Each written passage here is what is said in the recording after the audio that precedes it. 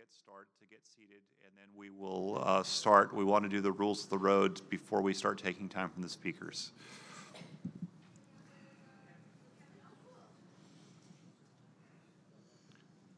And yeah, it's good when they bring down. It's good when they bring the lights down, but then it gets dark up here.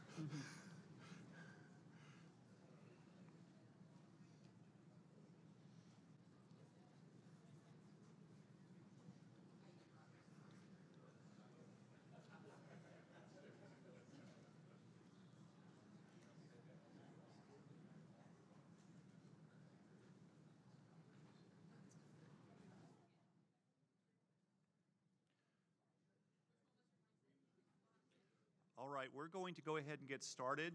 Um, my name is Walter Kiefer. Um, I'm a staff scientist at the Lunar and Planetary Institute, and I'm co-chair of the program committee for LPSC.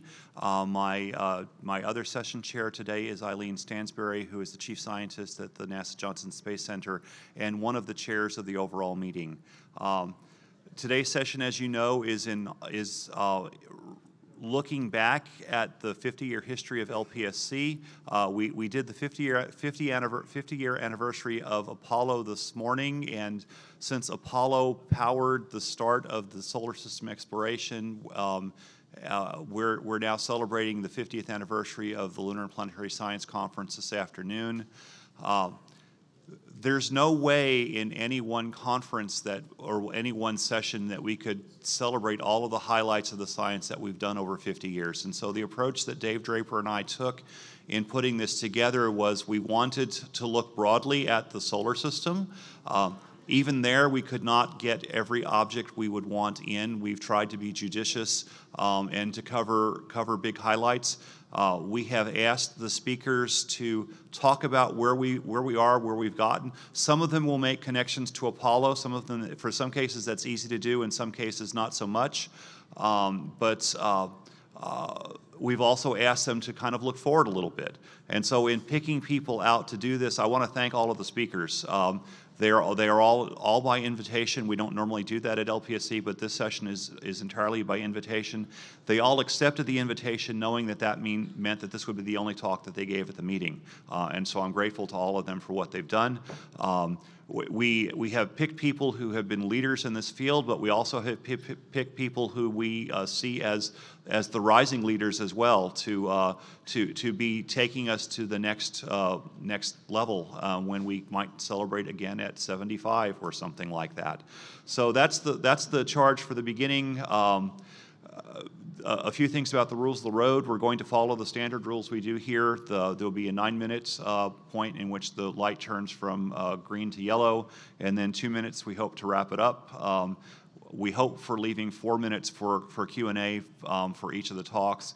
We do have to stay rigorously on time because this room will be reconfigured to be part of the walk on the moon activity tonight which so all of the chairs have to go out so at 445 we're done in here and everybody will have to leave. Um, and so that's why we're going to be pushy to keep everything on time.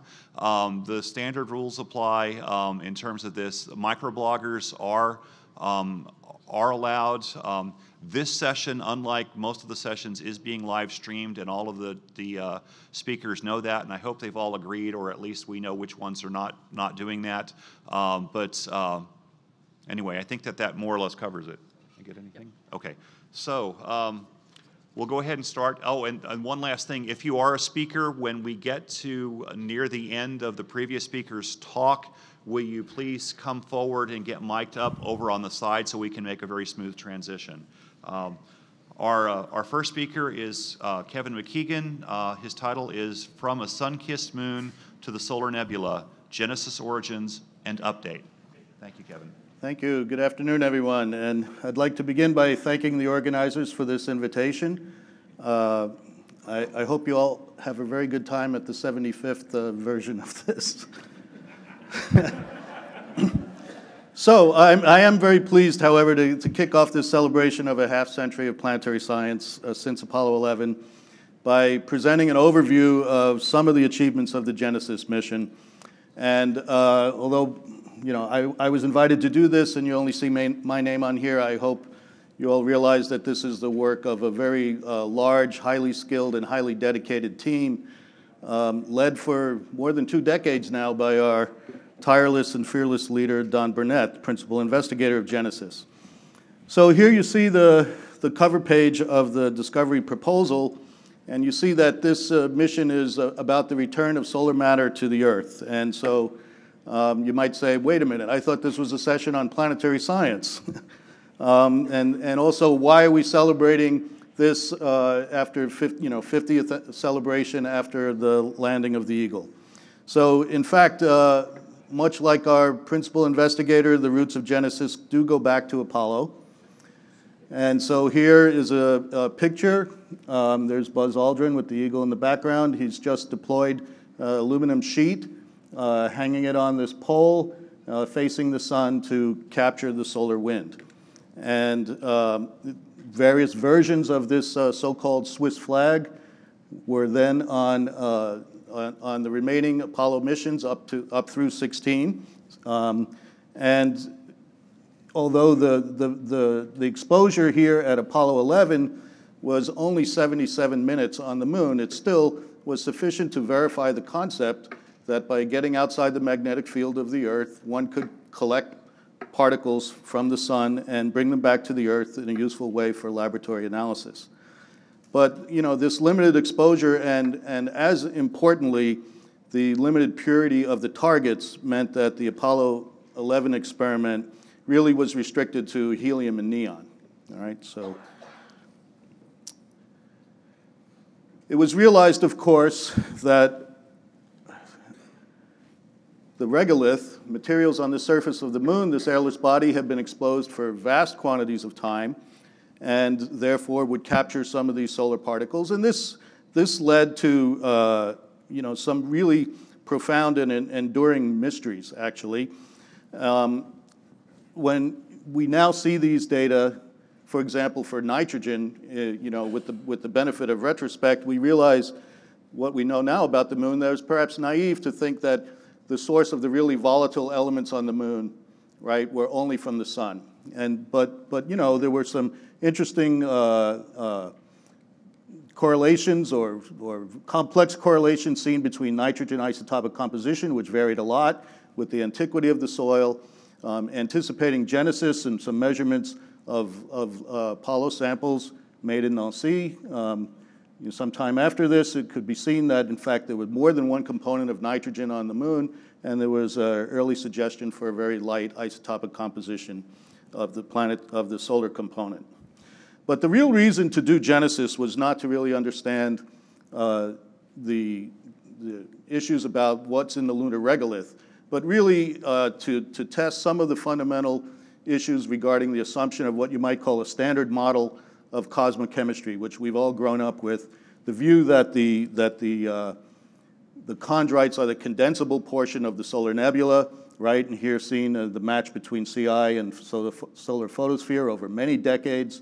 And that this leads to then the, the, the standard model that the, the planets are, are essentially built from chondrites and are approximately solar. And we'll hear, you know, planetary science has to reckon with this, and we'll hear more about this uh, the deviations from this assumption in, in the rest of this session.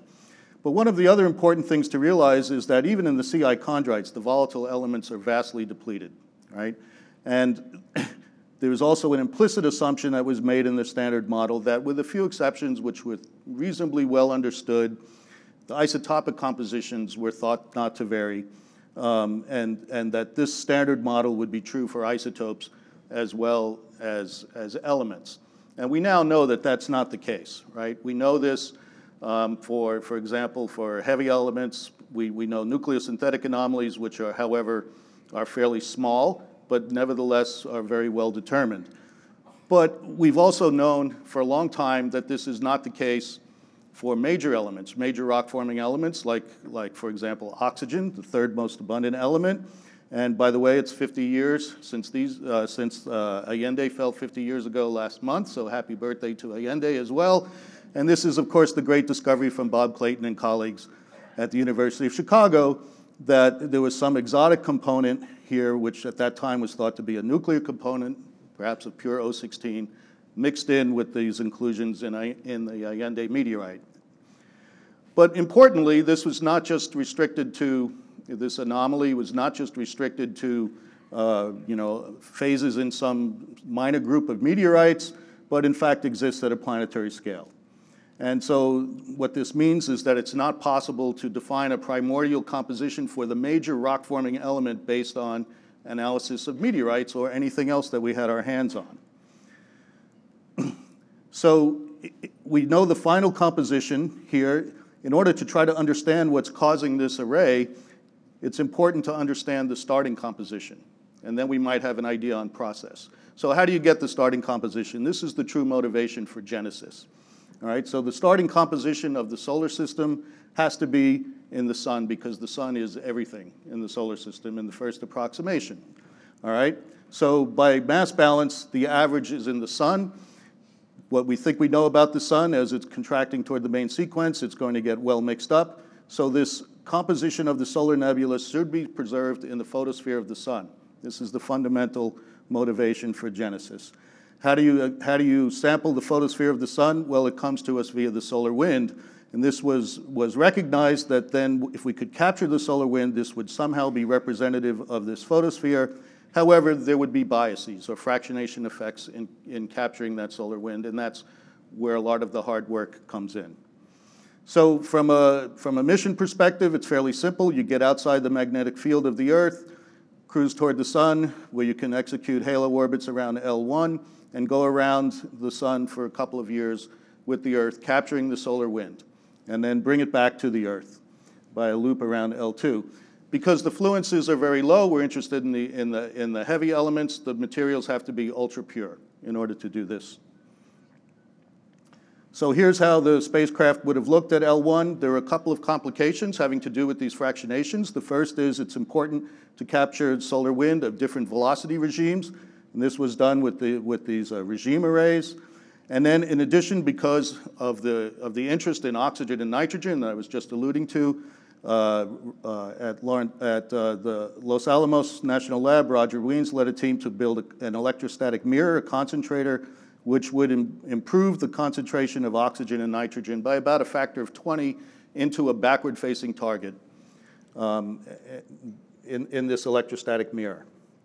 So Genesis mission had a flawless launch, and of course, people, people tend to remember dramatic things, so this is what people vision envision when they think about Genesis, at least certain people who are around. This is what happens when you drop your experiment from the top of the atmosphere, but this is not what people should remember about Genesis.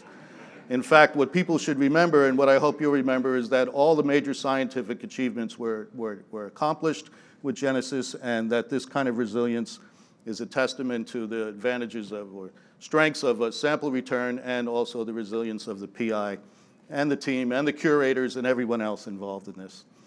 So very quickly, I won't go through any experimental detail. Fortunately, the uh, large parts of the concentrator survived, and we were able to get a very robust signal of the solar wind. Here you see for the three oxygen isotopes a depth profile, and one was able to sputter through the solar wind to a background which was acceptably low, so we have very high signal to noise. The, solar, the concentrator is, of course, an electrostatic device, so there's going to be fractionation both in elements and in isotopes across this. Unfortunately, that could be quantified by the use of neon, which could also be collect, which is abundant and is not a contaminant on the, in the atmosphere of the Earth, so it could be used to correct quantitatively this fractionation. And so that was done.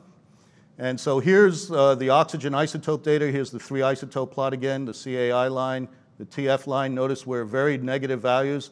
This is uh, the, the regions of the concentrator before the mass fractionation collection, uh, correction. And, and using the neon, they all correct back to a, a, a, a consistent point here at about minus 100, minus 80. And the, is this the composition then of the solar wind? It's what we collected at L1, but we know we have these biases. And so here's an, a hint to the answer. It's not. All right, and um, there are several reasons to think about that.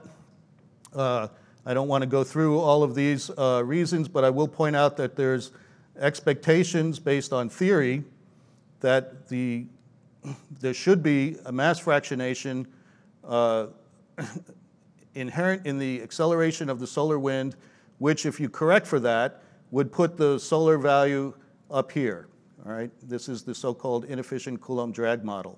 This was supported by regime data for the noble gases, which is very important. So since we are here and it's close to the CAI line, and given the other uncertainties that are, are in here, we would favor putting the sun composition right here at about minus 60, minus 60, but it should be recognized that this is a hypothesis that needs to be tested.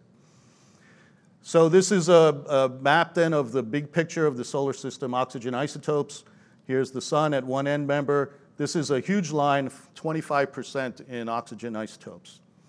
Uh, recently, there's been some supporting data from Lyons et al. looking at uh, rovibrational lines in the solar spectrum. I see my red lights flashing. I need to, need to finish up. This is uh, in agreement with, uh, with our data. Importantly, the nitrogen data. All right, so in Nancy, they were able to get very good measurements of the nitrogen as well, and the, the effect is huge, almost 40% uh, depletion in the heavy isotope of, of, uh, of nitrogen. So summarizing the isotopic measurements, all the first order questions have been answered. I didn't show you noble gas, but they are. And here are the compositions.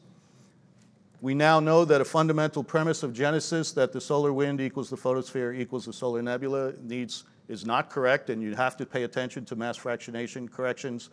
There are schemes to do this and, and test these models. There are some models.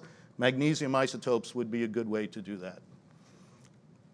Um, so basically, the main objections are met. In the coming years, we will see work in progress on, on the harder problem of elemental fractionation and elemental abundances in the solar, so we will be able finally to base solar abundances on solar composition matter. Um, I don't have time to go into some of that, but I'll just uh, finish up with then with the, with the conclusions.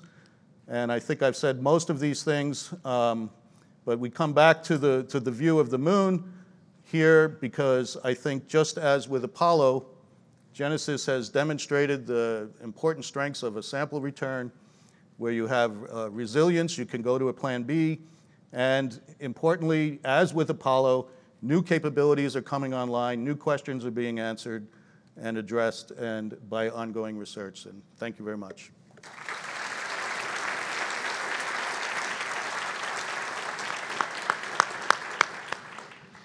Okay, we have time for one quick question. Okay, well then I'll volunteer a quick question. Um, so with all of this, what is the next science that we ought to be doing in this realm? Well, there are several important issues. One is to um, verify a prediction, actually, of the carbon isotope abundance. Uh, so that Lyons et al. data for oxygen depends on uh, carbon of minus 48 per mil. But I think also we're coming close to being able to do uh, elemental abundances of the major rock forming elements with low first ionization potential. So the, the issue there is that we know we have to do corrections, and so one has to understand these corrections sufficiently to then backtrack from the, from the solar wind to the abundance in the photosphere. And that is ongoing work that much of it is done and just needs to be put together in a comprehensive picture. So I think we'll see that in the very near future. Okay, great. Thank you. Okay, our uh, next paper this morning is the dynamical evolution and bombardment of the uh, early solar system. Few highlights of the last 50 years. Uh, Bill Bottke. Okay, thank you very much. I want to thank the organizers for putting on this session. It's a real honor to be able to speak here today, and I have a lot of ground to cover, so here we go. Okay. So let's start off talking a little bit. Oops. There we go. So I want to talk a little bit first about why do we think planet migration took place in the first place? And if you're clever, you'll get the hint that it has something to do with the population you're looking at right now. Okay, so back in the Apollo era, and this actually extended for a significant amount of time afterwards, we were all trying to make the planets where we see them today. But there was a fly in the ointment, and that had to do with Pluto. Okay? Pluto is actually in a resonance with Neptune. It's in Neptune's 2 to 3 resonance. It can never hit Neptune, but it's also highly eccentric, and as you can see from the video, it's highly inclined. And so the question is, how in the world would planet formation processes or accretion end up getting Pluto in that orbit? And the answer to this came as we started to discover more objects. And it has to do with the Kuiper Belt, okay? What you can see in the Kuiper Belt right now is that there's numerous objects that are caught in various resonance with Neptune. And it was realized after some time that the easiest way to get that was for Neptune to enter into a planetesimal disk, migrate through it, and capture objects. So I'm going to show you a simulation here from David Nesvorny. This is a modern era simulation. What's happening is Neptune enters in, it moves, it's throwing particles all around, and it's causing it to migrate outward. And in, in, in, a relatively inefficient manner, it's picking up objects and capturing them in the resonance. So that's how we got Pluto in its current orbit, along with resonant objects. But there's a key factor here. Because of the inefficiency, in order to get the current Kuiper belt we see today, we need to start with a disk which is much, much larger, at least a thousand times larger. So today we have Pluto and Eris and some very large bodies, but there had to be thousands of Plutos in the primordial disk in order to get this to work, okay? So from here, we can then do an like, if-then statement, okay? So if Neptune migrated, then we have to worry about its implications for all the other giant planet orbits, okay? So one of the big advances in doing this was the idea that maybe we have a different configuration for the giant planets to form in, okay? If we have that, then life becomes a lot easier from a lot of different fronts. So in this so in this idea, Jupiter would be pretty close to where it is today, but Saturn, Uranus, and Neptune all form much closer into the sun than their current orbits. And then out there you have a large primordial disk of comets, which is about 20 Earth masses or so. But remember, the goal is, is we have to get to the current system, where we have maybe a Mars mass of comets out here, and the planets all spread out. Okay, so this was work that was done by a team of people in Nice, so they call this model the Nice model. The giant planets form on circular orbits. There's a large massive disk. You can see the disk is losing mass. And in this simulation, there's a giant planet instability, which means giant planets enter into this uh, disk, and the whole system goes into a new, into a new end state. But this instability is, um, this instability, the timing of it, of when it happens, isn't known, okay? At this simulation, it was tied to having hundreds of millions of years take place before it takes place. Now, the one thing that's nice about this model is it does a really great job of reproducing the orbits of the giant planets in semi-major axis, inclination, and eccentricity. And if you follow up on all the, all the sort of lines of evidence for this model, it does a really nice job of giving you a, Kuiper, a good Kuiper belt. It gives you the irregular satellites of the giant planets. It gives you the Trojan asteroids. It does a lot of interesting things to the asteroid belt, which we think explain observations. And it goes on and on. It's a very interesting and powerful model. And right now, it's the only model we have that can explain this huge suite of constraints. Okay, so what other evidence do we have for planet migration? Well, in fact, the actual mass of Mars may be telling us something about migration, okay? And by, I mean by small Mars here is that Mars isn't the size of Earth or Venus. It's not like a huge terrestrial planet, it's a small one, okay? So if you go to sort of standard planet formation models that people have used over, let's say, years or even decades or so, and you assume the solar nebula is acting in a well-behaved manner, like what we call a minimum mass solar nebula, what happens, a lot of these simulations end up with Mars, Mars results, which are way too big. Okay? You can see Mars way down here, but a lot of the simulations are up here. And that mass difference has always been sort of problematic. What are we missing? What's, what's going on? Now, there's different solutions for this, and I'm only going to suggest two here that are related to migration. Okay? One is called the Grand-Tack, and another one I'm going to talk about in just a second is the idea that an early giant planet instability took place. So let's first talk about the Grand-Tack. Okay. So the Grand Tack takes advantage of ideas that when you're forming Jupiter with a core and it's accreting gas, if it gets massive enough, it can interact with the gas disk and it can migrate. Okay? So I'm going to start a simulation here with the idea that Jupiter is actually migrating with the gas disk and it's going to migrate inward across all of these planetesimals, which in this case we're just going to assume are like S types, but there's really more types represented here. But let's just assume that for the moment. Okay, so the simulation will start. Jupiter begins to migrate inward. Okay, and Saturn is actually growing as well, and because for various reasons Saturn as it grows actually grows, get, uh, migrates faster, it gets caught in a resonance with Jupiter and Saturn, and then the ensemble, Jupiter and Saturn interacting with the gas disk, causes it to migrate back outwards. So this does a couple things. First of all, it truncates the inner disk, so all of a sudden you have less mass available to make your Mars, which is good. Now we have a way to make a small Mars. The other possibility that's really neat here is you're taking objects which are carbonaceous in the outer solar system and you're embedding them in the asteroid belt.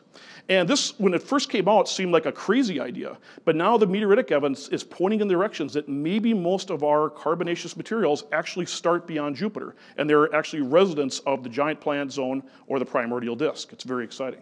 Okay. Okay. So we have, but now we have a new player on the scene, and this has just happened. It's really exciting, a really exciting work. And this is the idea of this, right? So the problem with the Nice model so far is getting the delay. Can you get hundreds of millions of years in? And so some, some new work uh, pioneered by Clement et al. has suggested that maybe the instability happens very early. That's much easier to handle dynamically. So what you're going to see here is a planet formation simulation where the, where the Nice model instability happens at a very short time in, maybe about 10 million years in. So here you see the giant planets forming and you see the planetesimals. You're going to see the instability start here in a second, okay? And then when it goes, all of a sudden you see you have this extra level of excitation that's put into the inner solar system. You manage to eliminate a lot of mass near Mars, and so that would also be able to give you a small Mars. On the left, I'm showing a simulation of what we think the initial conditions might be like, and you notice that a planet gets lost here. In some of the most recent simulations of this nature, we actually lose a Neptune-sized mass, and that actually seems to be something we have to have to explain various constraints, so that's all interesting. But if this early instability model is right, then our ideas about how dynamically, when do we get the moon formation event and how early bombardment should go, they all have to be strongly affected. So this is the new, new kid in the block that we have to investigate. Okay, so now I'm going to briefly turn and talk a little bit about bombardment. And I'm just going to focus on lunar bombardment because there's just too much to cover here. And in fact, I thought about giving a little bit of a history on this, and that would be fun, but there's no time. So I'm just going to have to give you a sort of a summation of what's going on. Okay, so there's been, so I would say right now, based on GRAIL data, based on the classic Don Wilhelms group and all the people from the Apollo era that did geologic mapping, there's of the order of about 40 basins on the moon. And it you know, could be 45 or whatever, but you know, it's of that order. And a basin is defined as a crater larger than 300 kilometers. Now, what's interesting is that two of the three largest basins are also among the youngest, okay? Imbrium and Oriental. Imbrium is maybe the only one we have a good age for. Okay, there's arguments about this, but ultimately we think Imbrium is about 3.9. And Oriental, we don't have a sample age for, but we know from various stratigraphic reasons and everything else, it's younger. It's maybe 3.7 to 3.8 billion years ago.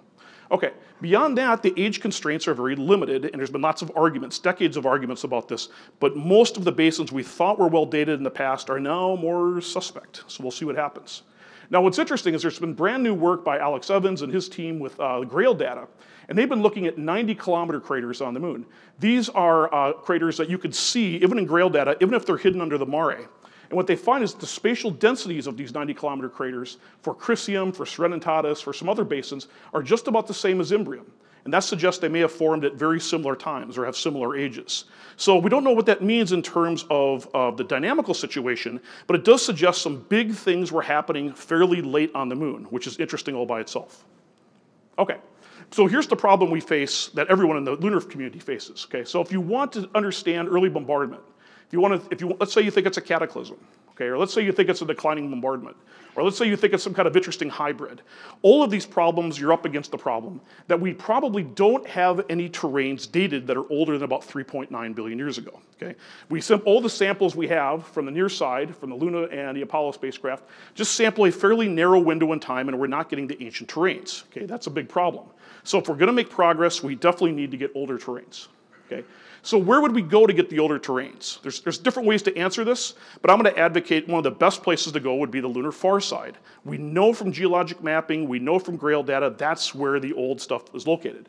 The oldest basin by superposition on the moon, and also the biggest, is South Pole Aitken Basin, but we don't know its age. Okay, it's all we know is it's older than Imbrium, it's older than 3.9 billion years ago, but we don't know how much older. Okay, we also now from GRAIL data have this fantastic data set of, of 150 kilometer craters all across the moon. This is a sort of a summary of Greg Neumann and his team and all the things they've done. Okay? But we still have a problem. Even though this is the oldest terrain on the moon, the issue is when did time for basins start? Okay?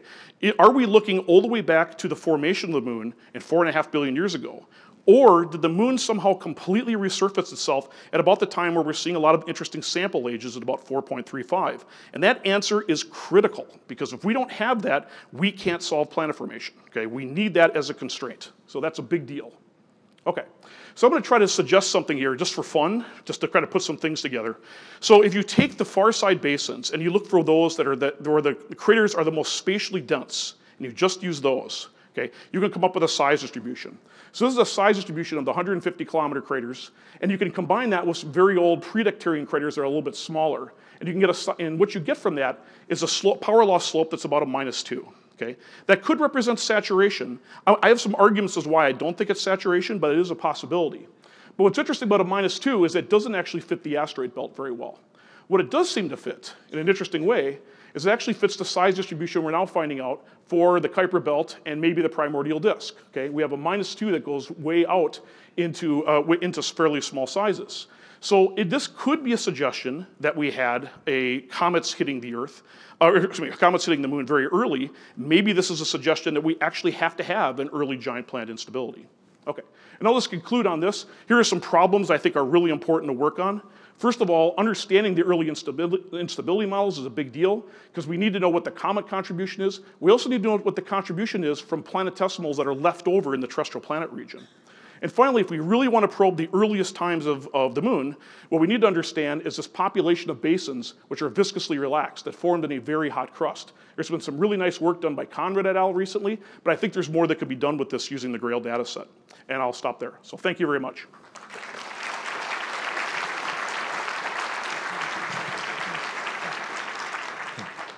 We have time for several questions.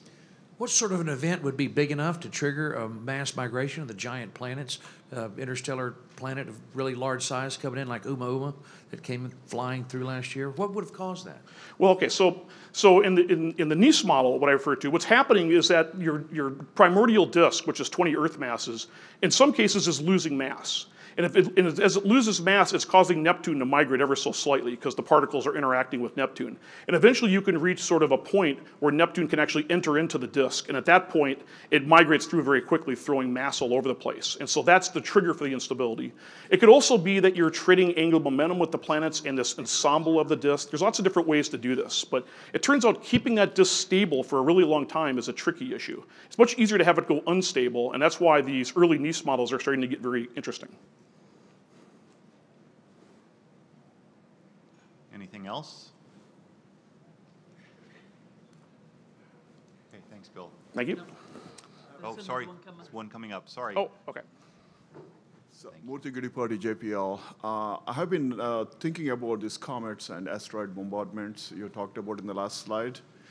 Uh, do they, when you said that uh, there could be actually the outer uh, objects, like you know the uh, uh, KBO type objects which are pushed inside, so the composition can be the same, irrespective of uh, whether they are asteroids or comets, except perhaps their speed of bombardment, right? Yeah, I mean, it's, the issue is you have, you have sort of three possibilities for bombardment populations. You have comets, you have asteroids, and, and leftover planetesimals. Comets, we think, have a different size distribution than asteroids and leftover planetesimals. Asteroids and leftover planetesimals may have the same size distribution, we're not sure. Okay, so they might be identical. So that's, that's an issue that we, that we love to explore in more detail. And we need geochemical constraints on all of this to see whether it makes sense. Okay, thank you. Okay, thanks, Bill. you. Okay, so the next speaker, um, the next talk is by Solomon, Nittler, Anderson, and Byrne. The talk is First Rock from the Sun, 50 Years of Mars Exploration. Sean Solomon is the speaker. Thank you, Walter and Eileen. My colleagues and I are uh, proud to represent the students of uh, the first rock from the sun in this historical perspective. Uh, where do I point this thing? There we go. 50 years ago, we had no spacecraft data from Mercury. Uh, we had only astronomical observations limited to mass, radius, and some orbital characteristics. Um, nonetheless, a distinguished, uh, very distinguished uh, cosmochemist could deduce from that limited information that Mercury had a much higher mass fraction of iron than any other planetary object in the inner solar system. It took uh, the Mariner series and Mariner 10 to uh, give us the first spacecraft uh, observations of Mercury. Mariner 10 was launched in 73 and flew by Mercury three times in 74 and 75. Mariner 10 discovered that Mercury had uh, an intrinsic magnetic field. Uh, Mariner 10 uh, discovered that inside the magnetosphere there are bursts of energetic particles. Uh, Mariner 10 made the first measurements of Mercury's uh, very tenuous atmosphere or exosphere, uh, in particular the abundances of hydrogen and helium, both ultimately derived from the solar wind. Uh, Mariner 10 imaged a little less than half of the planet, uh, roughly a kilometer resolution on, on average. So, so some images at better resolution than that. Uh, and it, it, came at a time after the Apollo missions, and so the, our, our understanding of the geology of the moon uh, greatly influenced the early work on the interpretation of the geology of Mercury. Uh, I, point in particular to the work of uh, Paul Spudis and John Guest, who worked out the stratigraphic history of Mercury uh, by extrapolation from the moon, and that, that has guided us uh, from that original work. Um, but uh, uh, Apollo missions also gave us some debates and some misleading information because of the expectation that the outer parts of, the, of Mercury would were probably similar uh, to the outer parts of the moon, and that turned out not to be the case. And we had a long-standing debate over the origin of Mercury's smooth plains and whether they were uh, like the lunar maria, which they were stratigraphically, or like uh, lunar light plains uh, which Apollo 16 had visited and was, of course, in place as fluidized ejecta rather than as volcanic material. And that debate uh, ran on until we sent the next spacecraft mission. Uh, a long time elapsed, and what we learned about Mercury over that interval came again from planetary astronomers who detected additional species in Mercury's exosphere, notably including sodium, uh, depicted here, and potassium and calcium at abundances far too high to be from the solar wind. They had to be from the surface, although the, there was an unknown contribution to each from impact vaporization, so we didn't know how much of it was from uh, Mercury surface material. Astronomers also uh, detected in the early 90s and announced the discovery of Mercury polar deposits uh, in the permanently shadowed regions of impact craters at very high latitudes of the North and South Pole, postulated to consist of water ice on the basis of radar characteristics and predictions for the temperature at the surface in, in those areas because of the limited uh, uh, atmosphere at Mercury. To uh, go to Mercury with another spacecraft really took the Discovery program in the early 1990s, which enabled uh, PI-led missions that were capped uh, in cost and launch vehicle and development time. And in three uh, successive opportunities for the Discovery program in 94, 96, and 98, a total of five different missions to Mercury were proposed. Uh, they were proposed by three different spacecraft centers. They involved multiple flybys, they involved orbiters, uh, and in the end, uh, the MESSENGER mission was selected in July of 1999. Uh, Messenger was developed, Messenger launched uh, in 2004, had six planetary flybys, three of Mercury, which returned data, and then went into orbit around Mercury in 2011 and took orbital data for a little over four years. So what were the discoveries from this uh, Discovery Program mission? I'll just summarize a few of them. Uh, but I'll pause long enough to say that our very first data uh, were presented at this meeting uh, a few months just two months after the first uh, Mercury flyby in 2008. Uh, we got a lot of surprises from the composition of Mercury. One of them is that Mercury, uh, in con contradiction really to the predictions of a lot of hypotheses put forward to explain the high metal fraction of the planet, uh, is a volatile rich world. And there you see uh, a plot of, of potassium and chlorine uh, normalized by other elements, uh, and illustrating that uh, Mercury is as volatile rich with respect to those elements as Mars, considered a volatile rich planet. So it tells us that Mercury broadly was formed from materials similar to those of the other planets, but retained or, or captured uh, more volatile materials than, uh, than perhaps even Earth and Venus. The surface of, of, of, Mercury is chemically heterogeneous. We learned that from mapping with X-ray and gamma ray spectrometry. Um, we inferred on the basis of photogeology and other uh, rules of inference that most of the surface units on Mercury are volcanic in origin, but they do vary in elemental composition and uh, geochemical and petrological modeling using those compositions uh, reached the result that the uh, they must be the product of variable partial melting of a chemically heterogeneous uh, mantle beneath the crustal layer. Also, uh, Mercury is a highly reduced world. The uh, absence of iron in silicates, the low iron abundance on the surface for an iron-rich planet, uh, and the high abundance of sulfur in the silicate fraction all point to highly reducing conditions for the materials out of which Mercury formed, much more reducing than that for the materials out of which the other inner planets formed, particularly Earth, uh, Mars, and Venus. Mercury turned out to be a, have a carbon-rich surface, uh, and that came from a mix of observations, uh, including spectral reflectance and, and particularly including uh, neutron spectrometry. Um, but it was predicted. It was predicted in a wonderful paper by Vander Kaaden and McCubbin in 2015 that in a magma ocean on Mercury, uh, having a bulk silicate fraction matching that of the surface composition, uh, the only mineral to crystallize in such an ocean and be buoyant and float would be graphite. And so they made the prediction that there might be remnants of graphite uh, that could be seen at the surface. And uh, a year later, uh, the thermal neutron results uh, from Peplowski and others uh, bore that out. So uh, Mercury is darker than the moon. It's darker, we think, because of the graphite. The graphite is concentrated in some of the darkest material on Mercury's surface and probably is remnants, consists of remnants of that original flotation crust.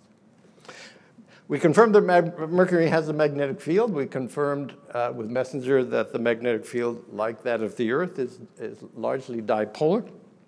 But unlike uh, the field of the Earth, the dipole is not centered at the center of the planet. Uh, it is uh, aligned with the spin axis, even better than uh, the Earth's field. Um, but it is offset from the uh, center of Mercury by 20% of the Earth's radius. This is a summary by Catherine Johnson and colleagues of all of the data from the MESSENGER mission at various distances from the planet of the magnetic equator uh, on the left and of the uh, dip axis of the dipole on the right, indicating largely axially aligned but substantially offset dipole, not predicted by any dynamo model prior to the mission. Uh, as the uh, MESSENGER mission uh, came into its last year, the periapsis altitude dropped lower and lower to, to the surface, and uh, we were able to resolve, against some work of Catherine, led by Catherine Johnson and others, crustal magnetic fields. Uh, that couldn't be seen at higher elevations than about 100 kilometers, uh, but showed the behavior as a function of altitude, indicating that uh, these fields were crustal in origin. Uh, they tended to be higher in amplitude in uh, some uh, areas that were broadly associated with smooth plains, uh, and so we think that these represent the product of an ancient dynamo operating on Mercury uh, between three and a half and four billion years ago. Tectonically and volcanically, Mercury is a world that has been dominated by interior cooling uh, to a degree that is less evident, is more evident on, on this body than any of the sister planets. Uh, it, the amount of contraction uh, was seen from MESSENGER to be greater than, than resolved uh, by only Mariner 10 data and began to match the predictions of thermal history models. The last uh, large episodes of effusive volcanism were confined to uh, periods on Mercury's history prior to three and a half billion years ago, uh, most readily explained by the continuing horizontal contraction of the lithosphere, which tended to make magma ascent much more difficult. Nonetheless, Mercury is an active planet uh, in the geologically recent past and perhaps even today. Uh, there's evidence from uh, the tectonic features from the work of Maria Banks and, and uh, Tom Watters and others that some of these tectonic features fault uh, tiny very young impact craters implying very young slip on some of these fault systems. Uh, and Messenger discovered that there are landforms known as hollows marked by uh, depressions, uh, absence of rims, irregular outlines, surrounding halos for most of them, uh, that uh, appear preferentially on one particular spectral unit and are interpreted in terms of loss of some volatile uh, bearing material uh, in response to Mercury surface conditions. And these must be fairly recent because at the highest resolution of the very uh, best images of these features, there are no impact craters superposed. Lastly, the uh, polar deposits uh, were imaged directly uh, using uh, uh, high exposure images looking into the areas of permanent shadow, demonstrating that at the highest latitudes, the polar deposits were bright at optical and near infrared wavelengths, and they were bright in areas where the temperature models calculated from insolation using measured topography predicted that uh, water ice would be stable at the surface. But a major discovery was that the polar deposits farther from the poles are dark. They're dark at optical and near infrared wavelengths. They're darker than any other mercury uh, surface materials.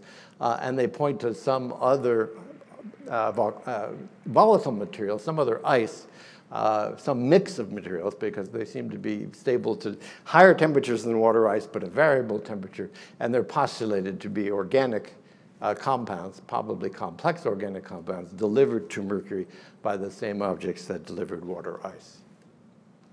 The next 50 years has begun in the exploration of Mercury with the launch last fall of the Bepi-Colombo mission involving two spacecraft that will arrive at Mercury 50 years plus uh, after the last flyby of Mariner 10.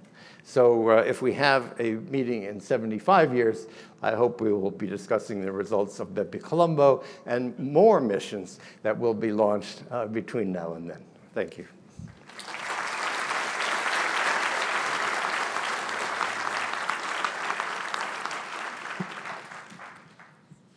Okay, we have time for some questions.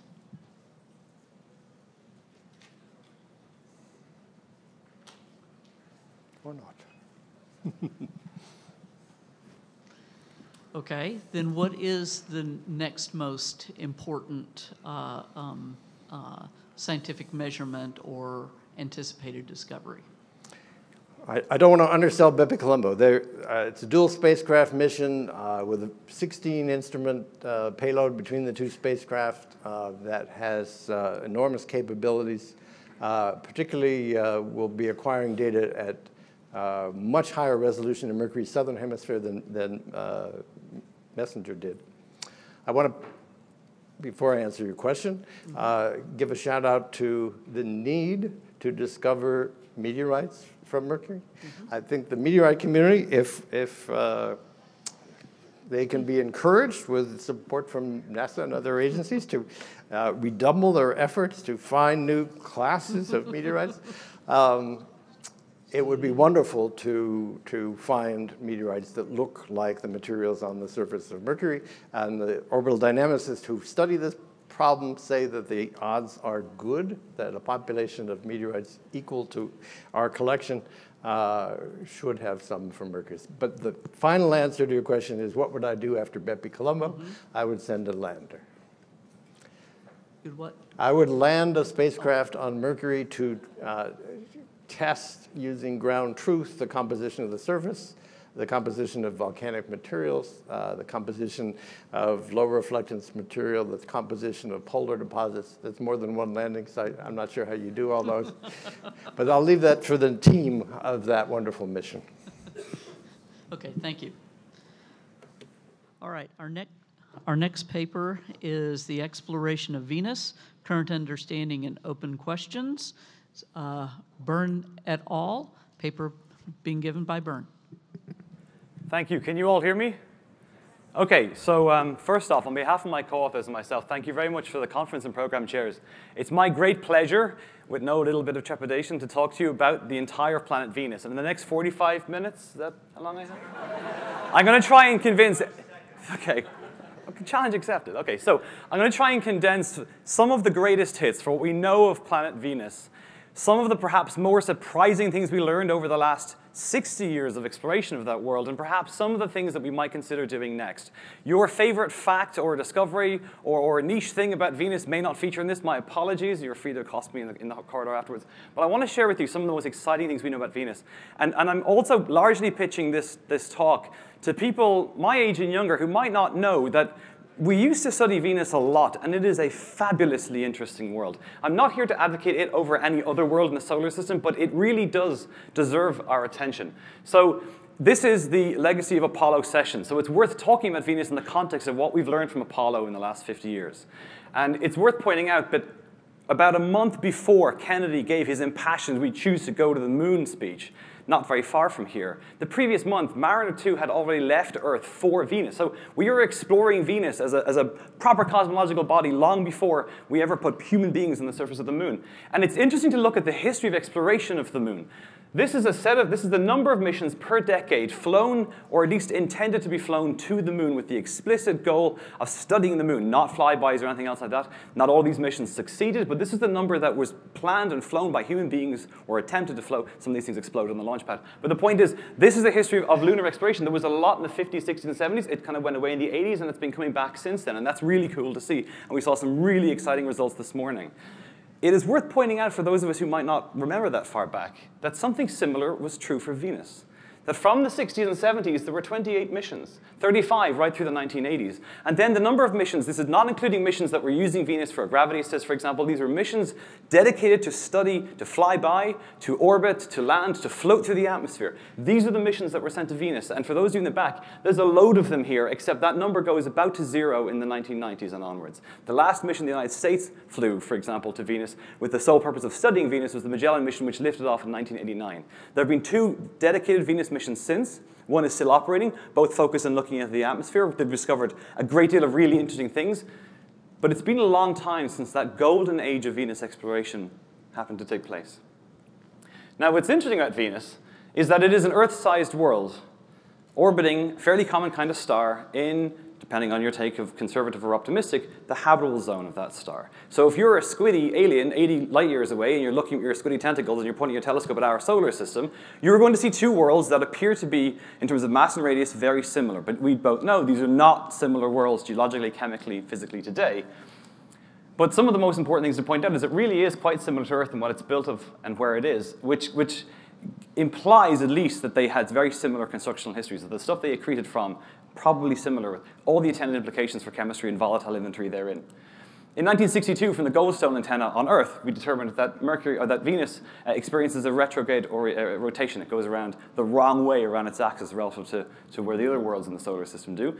And the flyby of the Mariner 2 spacecraft in 1962, the first successful interplanetary flyby, was to Venus showed us that there are very high temperatures in the lower atmosphere, which put pay to any idea of Jules Verne's jungle-like world, you know, warm and tropical humid. No, we knew that there was extremely high temperatures in the lower atmosphere, and there was no resolvable magnetic field, which led to its own set of questions. Why a world so similar to ours in probably composition, but certainly in size, density, why not have a magnetic field?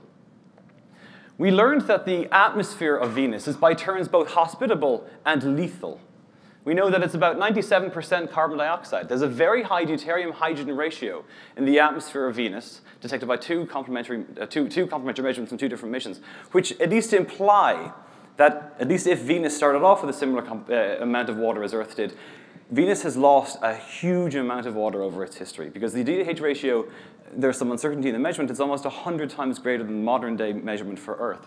And we know that the atmosphere is super rotating we know that there's a global cloud layer that's composed of sulfuric acid clouds. But we know that that cloud layer is not geologically stable over the 100 million year time scale, and so you need to be replenishing the stuff that goes into making those clouds, water and sulfur, on geologically recent time scales to produce and to continue to maintain that global cloud layer. Here's an artist's impression, not a photograph, of the Vega 2 balloon floating serenely, because this is the cool thing. At about 50 kilometers above, 50 to 65 kilometers, the ambient pressure and temperature conditions in the Venusian atmosphere are almost identical to this room right now. It's 97% CO2, so you'll asphyxiate pretty fast, but you won't be boiling to death, which is in strong contrast to what's happening on the surface, because Venus is basically hell made real. Again, this is not a photograph, this is an artist's impression of what the Venera lander is sitting here. This thing is probably still sitting there today, because the pressure isn't actually that big a deal for the electronics, it's the temperature.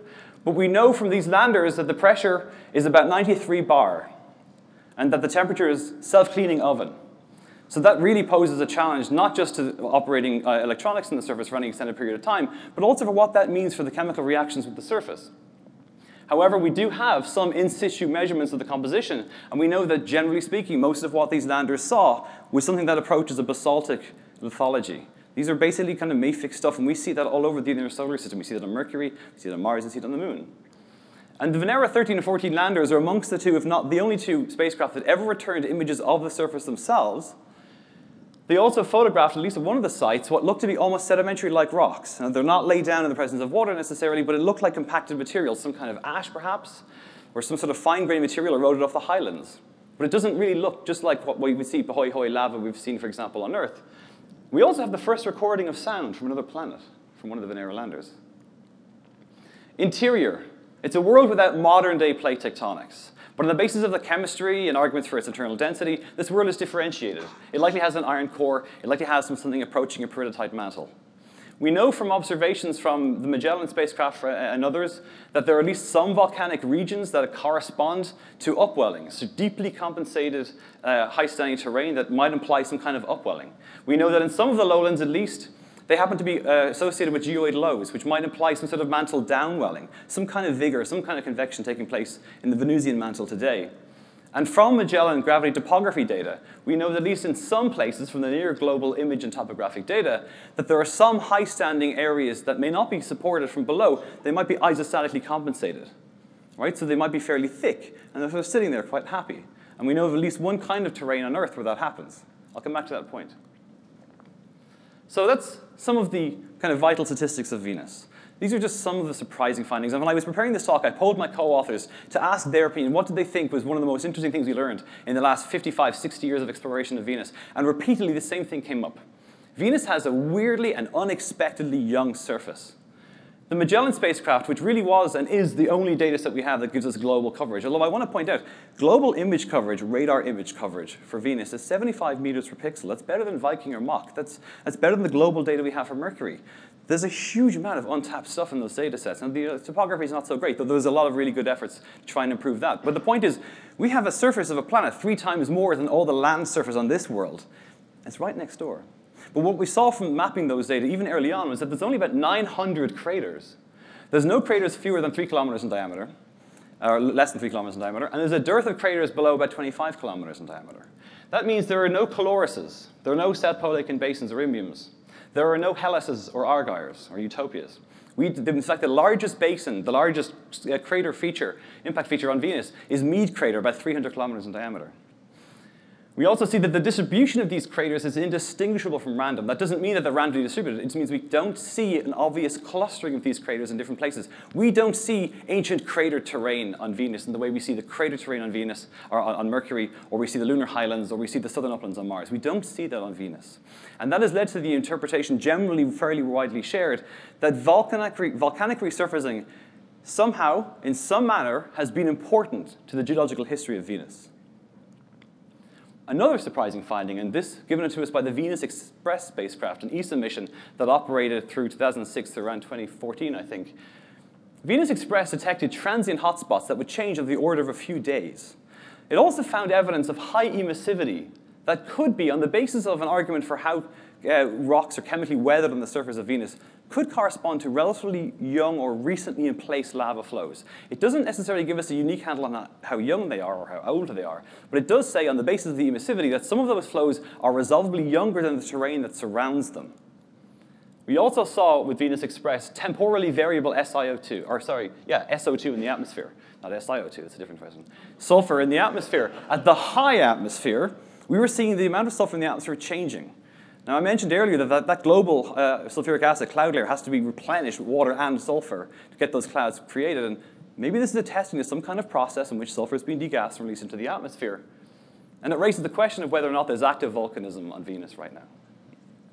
And one more surprising finding, and we saw this in the, talk, in the sessions this morning for Venus, there is indirect evidence that perhaps Venus is a more dynamic and perhaps mobile world than we experience, than we, we might once have thought. There's evidence on the basis of some of the, the images, the radar images that Magellan returned, of tectonic deformation of a style that really is resolvably different to Mercury, to Mars, to the Moon. In fact, the level, the amount of deformation, the amount of strain in each area is comparable really only to Earth.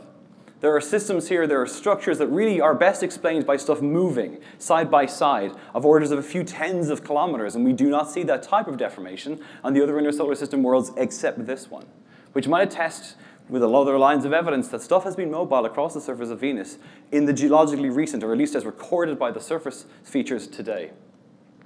So what are the, some of the open questions? What did early Venus look like? On the basis of the D to H ratio and the implication, the inference, that a lot of water was lost from the uh, Venus system, Mariner 5 and Pioneer Venus suggested that perhaps there was a humongous amount of loss of atmospheric water.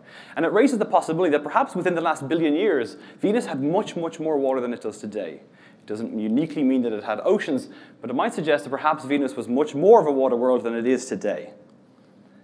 Is there continental crust? There are some high-standing areas I mentioned earlier that are thick, that are isostatically compensated. We know that from some of the data from the Venera 8 lander that there are at least evolved rocks. It's not just all mafic stuff on the surface of Venus. We know that in some of the tesserated terrain, which is a type of distinctive kind of, of, of, landscape that's highly tectonically deformed, it looks like really highly deformed continental interiors on Earth. And locally, these things happen to be the stratigraphically oldest stuff. Are these some kind of continental crust? And were there two Earth-like worlds at some point in solar system history? Was there a point in time where if you're that squiddy alien from 80 light years away and you visit our solar system, would you have seen two worlds that looked like this? Do they have a shared geological history in which they would have started off similar because they start off with the same kind of inventory of chemicals? If they didn't, what does that mean for how stuff accretes in the solar system in general? And if they did, if they have that shared history, when did their paths diverge? And you go from one world to the other. So where do we go from here? In the last 30 seconds, I'm going to simply say that we need much more data on the composition and the evolution of the atmosphere. We need to know about the composition of the surface materials, particularly that upland material. Measuring its SiO2 content might simply tell us quickly, in the case of an hour of operations on the surface, whether that stuff is actually continental material or not. We need to know what the structure and any presence of activity is for the interior of this world to know, is it as dynamic as our observations of the surface are beginning to suggest it might be? It's pretty important that we understand Venus in its own right, because when we study Mars or Mercury, we don't say that we're studying this just to try and understand some other world. And that's often the narrative for Venus. Venus is worth studying in its own right because it's a fabulously fascinating world. It's right there. However, it is also worth understanding Venus because we have an Earth-like world right next door, and understanding it will help us understand what the similarities and differences are with the other rocky worlds in this solar system, and more broadly, those rocky worlds in orbit around other stars. And for those of you who are microblogging, that's a 69 character long uh, conclusion right there. Venus will help us understand the rules that basically govern and shape Earth-like worlds. Hashtag thank you very much.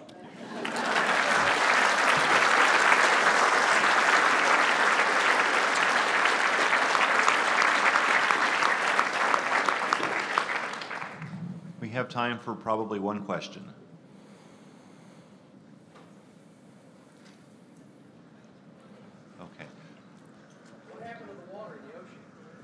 That's a great question. No. Thank you so very much. The question is uh, last week I happened to be looking at one of the Venera 13 pictures.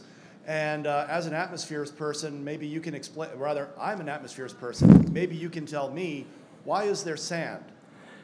Short answer, my views do not represent those of my employers, my co-authors, or the uh, people here in the room, but it's very possible if you're basically eroding stuff off the highland terrain, that stuff is going to form small particles that will be carried into the topographic lows. That's what those things touched down. So they might be seeing, the protolith could be whatever the hell the highlands are made of, but we're seeing material that's eroded down and deposited in those lows.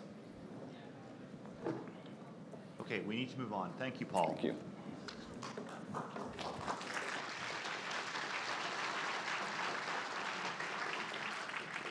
The next talk is by Schmidt, Herd, McCoy, McSween, Rogers, and Treiman. It is Igneous Mars, Crust and Mantle Evolution as seen by rover geochemistry, Martian meteorites, and remote sensing. Mariek Schmidt will give the talk. Thank you. Thank you. It is a real honor to be able to represent Igneous Mars at this session. Um, I could not have done this, could, could not have put this talk together without my very excellent co-author, so thank you for that. Okay, so uh, Mars has experienced a prolonged igneous history, and that has been indicated by uh, its geomorphology. And so the uh, Mars geologic timescale has been, um, uh, it's been constructed based on crater counting and the geologic principle of superposition. And the, the earliest part of Mars history, the pre-Noachian, saw the development of the large features on Mars, including the buildup of the bulk of the Martian crust, as well as the development of the dichotomy between the southern highlands and the northern lowlands. as well as the onset of Tharsis volcanism, which has continued through much of Mars's geologic history. So with time, uh, Mars experienced con uh, continued planetary cooling, uh, thickening lithosphere, and stabilization of convective upwelling beneath Tharsis. So the goal for this talk, or the question for this talk, is how do orbital, meteorite, and landed mission data sets provide insight to the igneous evolution of Mars? So let's start from orbit. Uh, re uh, remote sensing and uh, uh orbital missions have uh, provided gamma ray and infrared global data sets, um, such as this, uh, these mineral maps provided by Omega. And uh, collectively, these indicate that the low dust regions of Mars are basaltic, and there are 10%, or on the order of 10%, regional mineralogical variations in plagioclase feldspar, uh, low calcium pyroxene, high calcium pyroxene, olivine, as well as uh, poorly crystalline materials that are likely secondary. The potassium and thorium abundances have been found to be higher than the meteorites, but with a similar potassium-thorium ratio. So the Martian meteorites, um, there are over 120 Martian meteorites that have been linked to Mars based on shared geochemical characteristics. And these provide really important uh, uh, information about the bulk composition of Mars and isotopic evolution. Uh, these include the uh, alkali poor basalts, the shergottites. Uh, these are 165 to uh, 600 million years old. There are two meteorites that are, uh, that are called augite basalts. They are chemically distinct, a bit older, uh, 2,400 million years old. And then there are co-magmatic, co-magmatic uh, ultramafic cumulates, the nakhlites, which are clinopyroxenites, and uh, which are dunites. These are about 1,300 million years old. And uh, but in reality, nearly all of the Martian meteorites are Amazonian-aged, alkali-poor, mafic to ultramafic rocks, igneous rocks, and we call them the SNC meteorites. I plotted them on a, a, total alkali versus silica diagram, which is very useful for, uh, for constraining uh, uh, volcanic rock compositions. And I'm going to gradually fill in this diagram as I go through additional uh, geochemical data sets. There are a couple other meteorites uh, uh, that are very important and worth noting. Uh, the ultramafic cumulate ALH 84001, which is low in total alkali, it's a plus down here.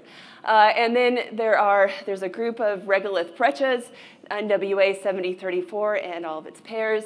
Um, it's been called Black Beauty by some in the, in the uh, meteorite community. And uh, some clasts and zircons within this Regolith breccia uh, are as old as 4,400 million years old, and the breccia itself, though, it yields about 1,500 million years ago. Okay.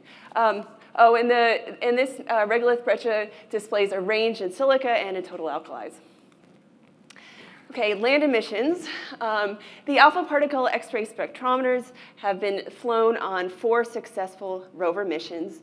Uh, these provide geochemical information in context, and it also allows us to make uh, direct comparisons between the different landed sites uh, landing sites. So the, the Pathfinder mission in 1996 deployed the Sojourner rover, and it analyzed basaltic soils as well as uh, rocks that are uh, a bit richer in silica than were expected and are thought to have possibly been altered.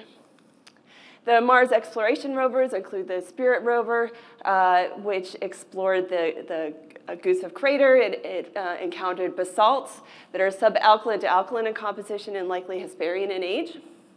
Um, and then the Opportunity rover uh, examined one igneous rock over its 15-year uh, time, and uh, that's the Bounce Rock, which is actually very similar in composition to the uh, Shergottite meteorites. Um, keep going. Okay, the uh, Mars Science Laboratory rover Curiosity uh, has been actively exploring Gale Crater, which is a, a largely sedimentary environment. But uh, early on in the mission, the rover encountered some igneous clasts and float rocks, uh, including the Jake M class, which are very rich in sodium. Um, they were first uh, classified as being meteorites by Stolper et al., um, but uh, in a recent paper, I've uh, looked at, uh, I've corrected for the dust and found that it's, it ranges from phonolite to trachyandesite in composition.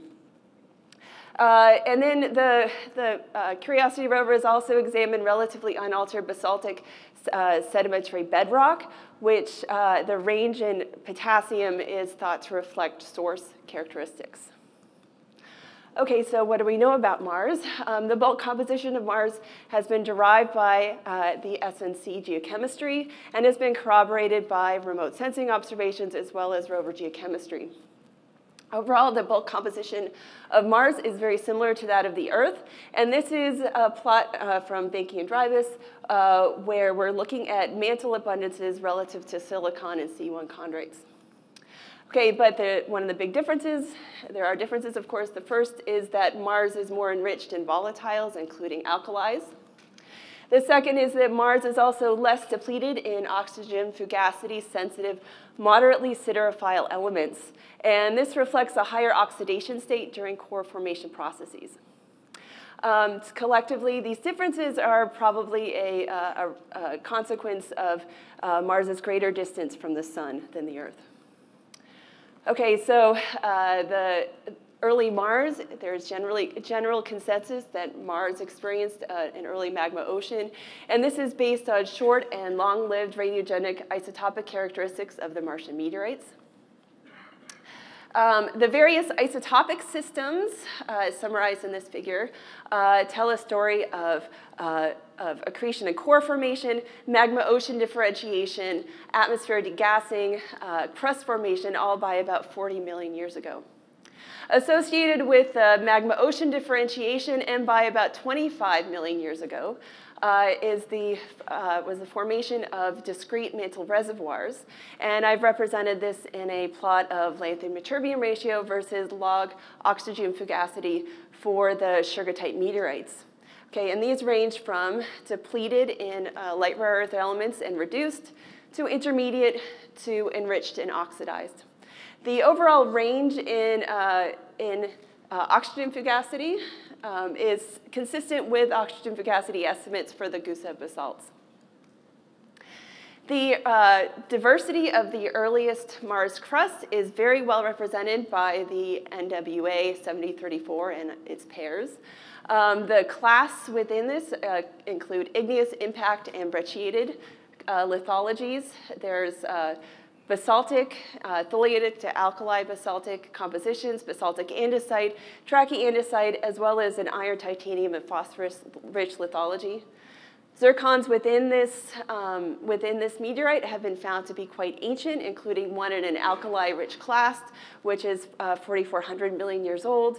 And this confirms ancient alkali magmatism on Mars and is consistent with uh, alkaline compositions seen by the, the Spirit and uh, Curiosity rovers.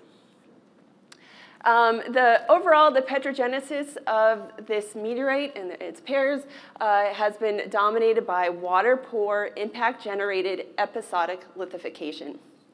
And uh, that culminated in a thermal event um, at about 1500 million years ago uh, that led to breccia lithification.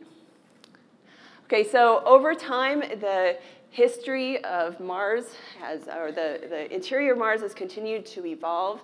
Um, so from the Noachian into the Hesperian, there is a decreased abundance ratio in uh, low calcium pyroxene to uh, um, low calcium pyroxene plus high calcium pyroxene. And that's represented in this histogram comparing Noachian and, and Hesperian terrains.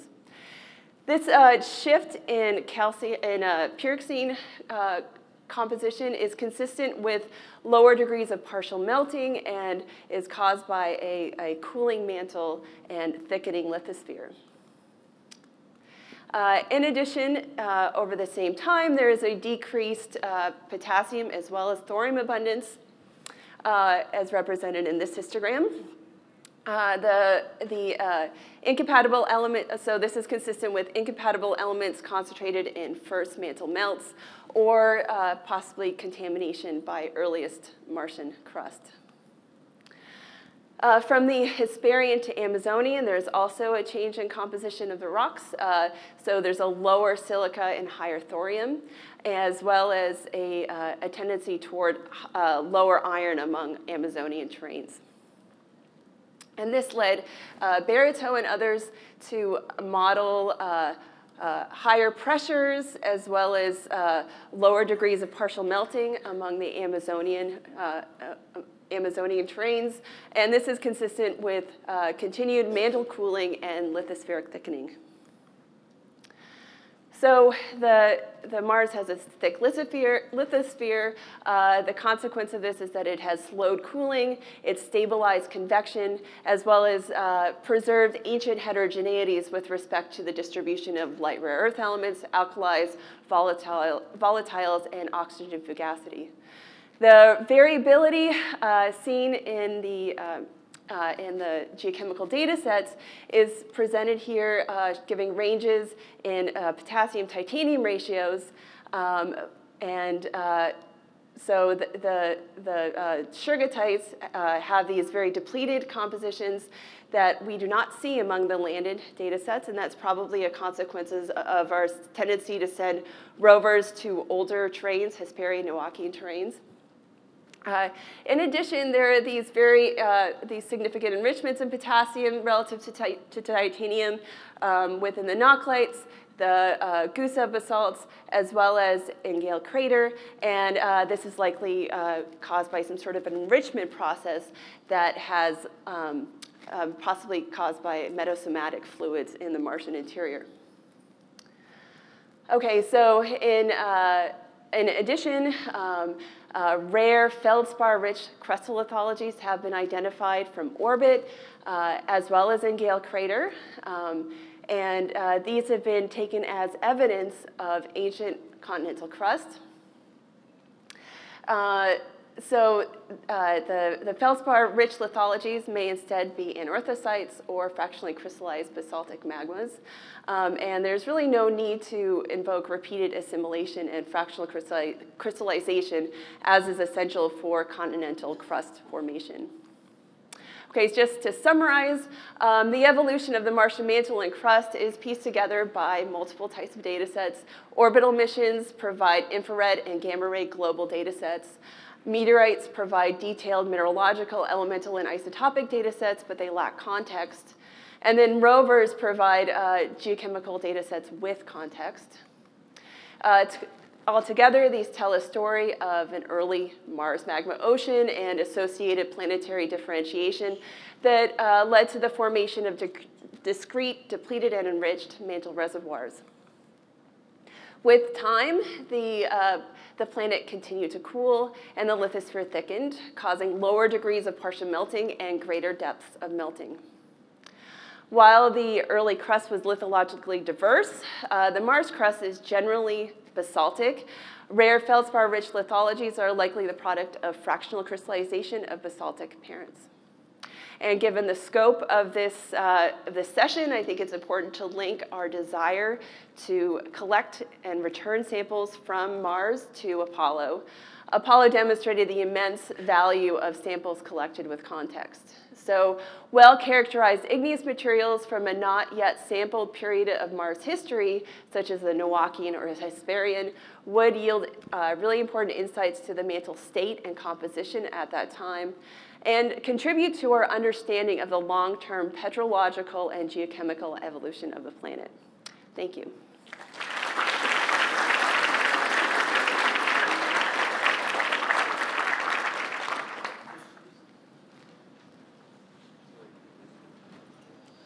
Okay. Either one very, very short question or none at all, because we're about on schedule. Okay, thank you.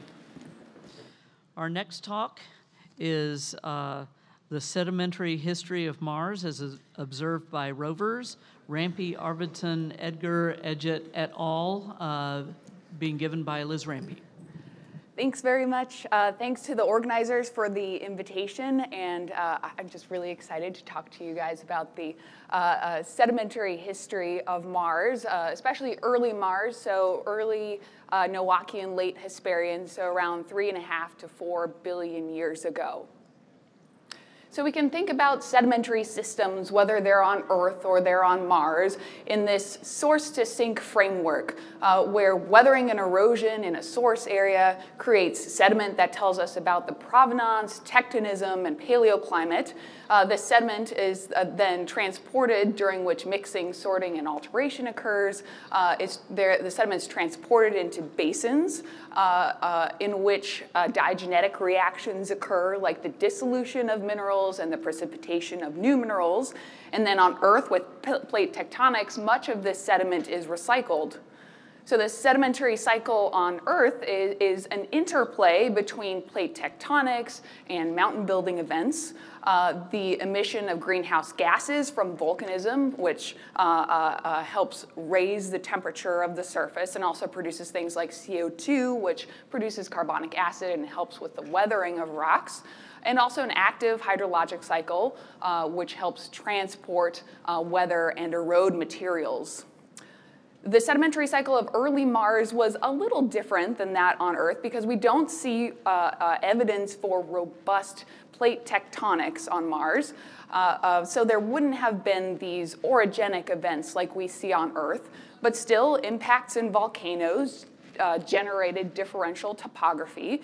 Volcanism emitted greenhouse gases, which raised the temperature of, the, of the surface to that of the triple point of water, so that liquid water could flow across the surface. Uh, uh, and then uh, these materials in volcanic edifices or in crater rims would have been eroded and transported by fluvial or aeolian processes and then deposited in some sort of sink like impact basins.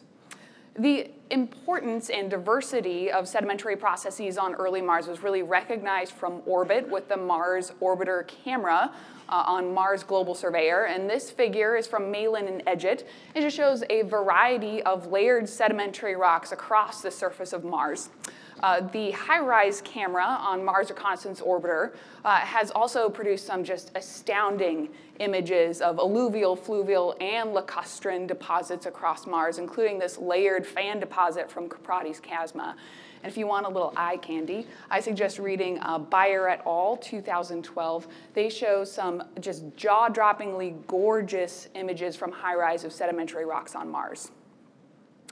And the secondary mineralogy, or the, the minerals that form from water-rock interactions, are also a really important part of the sedimentary history because they can tell us about the aqueous conditions under which sediments were deposited, lithified, and later altered. And a variety of secondary minerals has been uh, uh, discovered from orbital infrared spectroscopy, uh, including phyllosilicates or clay minerals, which are denoted in blue, and sulfates, which are in pink. And in general, phyllosilicates are found in, in slightly older terrains than sulfates. And in, in, some places on Mars, we find phyllosilicates uh, directly underlying sulfates in some sedimentary sequences. And so this led to a, model of the aqueous evolution of Mars, uh, in which the uh, clay minerals formed during the Noachian under alkaline conditions, and then there was this great uh, burst of volcanic uh, activity, which caused a global climate change on Mars, uh, acidified uh, surface waters, causing the precipitation of sulfates, after which the Martian surface dried out. And then our observations from rovers actually allow us to introduce complexities into this model of Mars's acidification and aridification, and shows us that the uh, sedimentary history of early Mars actually varied in space as well as time. Uh, much of the landing site selection for rovers on Mars has been driven by morphological and uh, mineralogical evidence for past aqueous activity. So the Pathfinder rover landed in Ares Vallis in 1997, which is an outflow channel, and it studied flood deposits. Spirit landed in Gusev crater in uh, 2004 because of orbital evidence for this channel entering this crater, uh, suggesting there might be ancient lacustrine deposits. Uh, Spirit didn't find those ancient lacustrine deposits, but found some silica sinter, suggesting hydrothermal fluids were moving through here. And actually, this outcrop on the right almost brought us back to Gusev crater with Mars 2020. Opportunity landed in Meridiani in 2004 because of uh, evidence for abundant hematite from thermal infrared uh, uh, orbital data. And on the surface, it found that this hematite was present in spherules or blueberries, suggesting deposition in water. And Opportunity has studied some uh, magnificent sedimentary exposures in crater walls, uh, including perhaps the most uh, famous sedimentary exposure on Mars, an endurance crater of the Burns Formation, which uh, was deposited around uh, early, uh, early Hesperian, late Noachian. Uh, Opportunity studied the Burns Formation in, in, Erebus and Victoria, and then studied some layered Noachian materials uh, of the Matijevic Formation on the rim of Endeavour crater. These materials are fractured and show evidence for luminous phyllosilicates suggesting uh, uh, groundwaters moved through here. And so this seven meter exposure of, of the Burns Formation in Endurance Crater is so well preserved that it allows for some very detailed sedimentological analyses. So there's a lower unit that is characterized by a large-scale cross-bedded sandstone, which is consistent with an aeolian dune field. Uh, a middle unit that's characterized by uh, uh, uh, cross-stratified or, or low-angle cross-stratified sandstone that's consistent with an aeolian sand sheet. And then there's this upper unit that has some low-angle cross-strata, but also some planar laminations, some wavy bedding, and also some evidence for soft sediment deformation, which is consistent with a mixed aeolian and playa environment. So here there's evidence for this uh, gradual drying or, or, wetting over time, uh, whereas in Erebus there's the opposite, a change from a wetter to a uh, drier environment over time. So that might preserve an entire climatic cycle. I will note that there are alternative hypotheses to explain the deposition of the Burns Formation, which include uh, impacts and volcanism.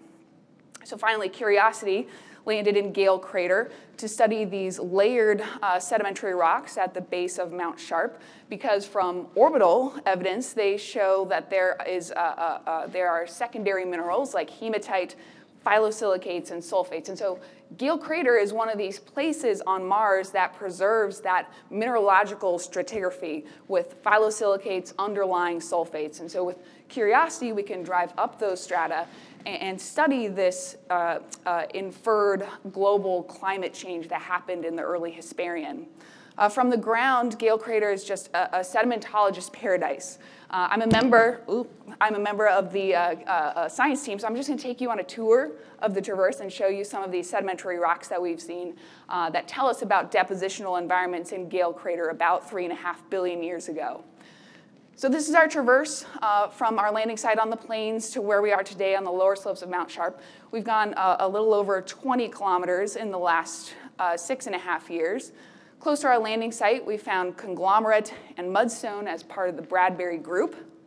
We also found some sandstone strata that were dipping very gently towards the center of the crater at a place called the Kimberley.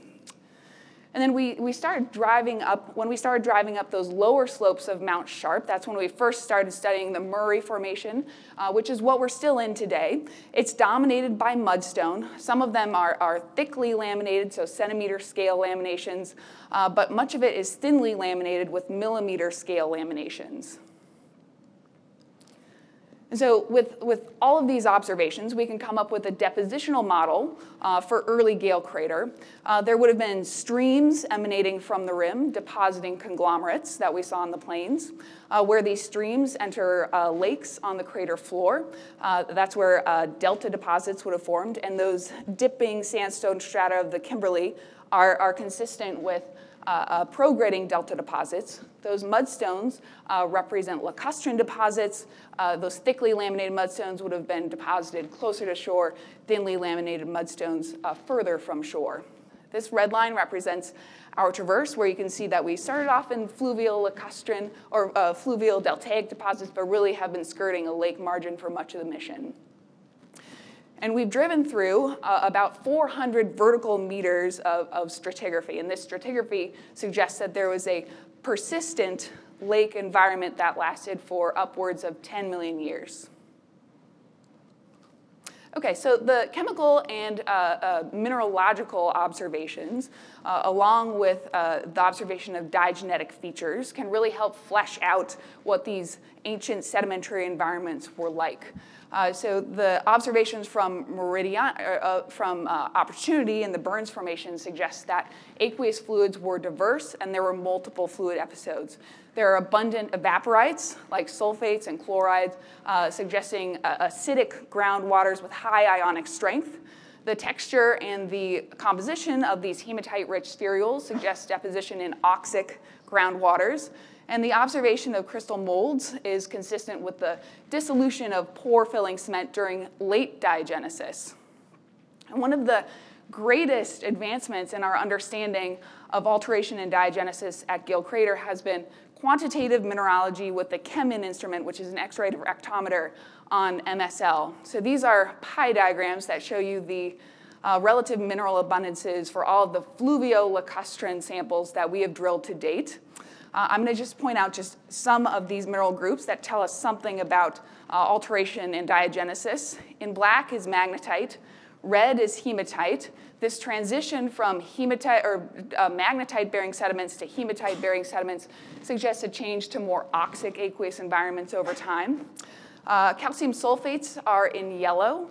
Uh, the abundance of calcium sulfates uh, at the top of this section suggests that this part of the stratigraphy uh, um, uh, experienced sulfate-rich waters. Uh, and jarosite is in purple. It's an iron sulfate that forms under acidic conditions. but the most important thing about this jarosite in a, in a sample called Mojave 2 is that potassium argon dating from the SAM instrument suggests that is only 2.1 billion years old. These sediments were deposited three and a half billion years ago. So there is evidence for a history of liquid water that might have spanned one and a half billion years at Gale Crater, which is so important when we're trying to constrain habitability. Finally, the, these pie diagrams aren't telling the entire story because all of these samples have 15 to 60 weight percent X-ray amorphous materials. Now this is an ongoing dilemma for us because on Earth, X-ray amorphous materials tend to mature to more crystalline phases like quartz. So we don't see that at Gale Crater, so it suggests that uh, uh, although we see a history of liquid water that might have spanned a billion years, it was likely intermittent rather than persistent. So when we compare the Burns Formation from Meridiani to the Murray Formation in Gale Crater, uh, we see that they were deposited around the same time, uh, and both require sustained liquid water to form, but they experience very different depositional and diagenetic processes. Burns Formation was deposited in a mixed playa aeolian environment where very saline groundwaters altered it, whereas the Murray Formation was deposited in a dominantly lacustrine deposit where these lake waters and groundwaters were variably oxic, but we don't see nearly the amount of sulfate that, that is present in the Burns Formation. So these differences suggest that sedimentary environments on early Mars really varied over space and relatively short periods of time. Uh, Curiosity is going to continue to uh, uh, investigate these uh, mineralogical variations in units that we've identified from orbit uh, that have clay minerals and sulfates. So it'll be really interesting to compare uh, the results from the sulfate-bearing unit to what's present in the Burns Formation. And I'll end uh, uh, by talking about the Mars 2020 rover uh, offers us another look into the early Hesperian. So it's landing in Jezero crater, uh, which is the site of delta deposit. From infrared spectroscopy, these deposits have phyllosilicates and carbonates, but very few sulfates. So we might expect that these results from 2020 will add some more complexities into our ideas and hypotheses of early Mars. Thank you.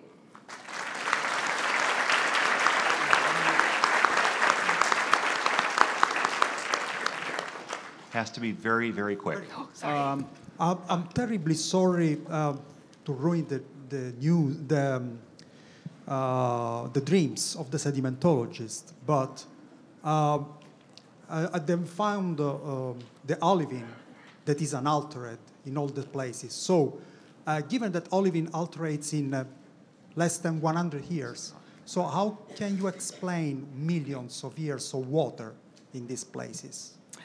Yeah, so actually, it's interesting. Uh, we do think that, alt, uh, especially down at the base, where we do find minor amounts of olivine that is significantly lower than uh, uh the inferred basaltic progenitor. So we do think that olivine has altered in these sediments, uh, probably to the smectite. But in this part of the section, we don't find any olivine. But there's plenty No, of olivine I'm, I'm, I'm sorry, but Yeah, we no, don't, we don't have time for any follow-ups. Uh, Thank you. Liz. Okay, our next talk is by Raymond Russell and Castillo-Rogez, uh, Ceres and Vesta, Diverse, Enigmatic, Small Planets from the Dawn of the Solar System. Carol Raymond is the speaker. Thank you, Walter. Um, uh, Thank you uh, for the invitation to speak. I'm delighted to be here to talk about Ceres and Vesta, the results of the recently uh, uh, completed Dawn mission.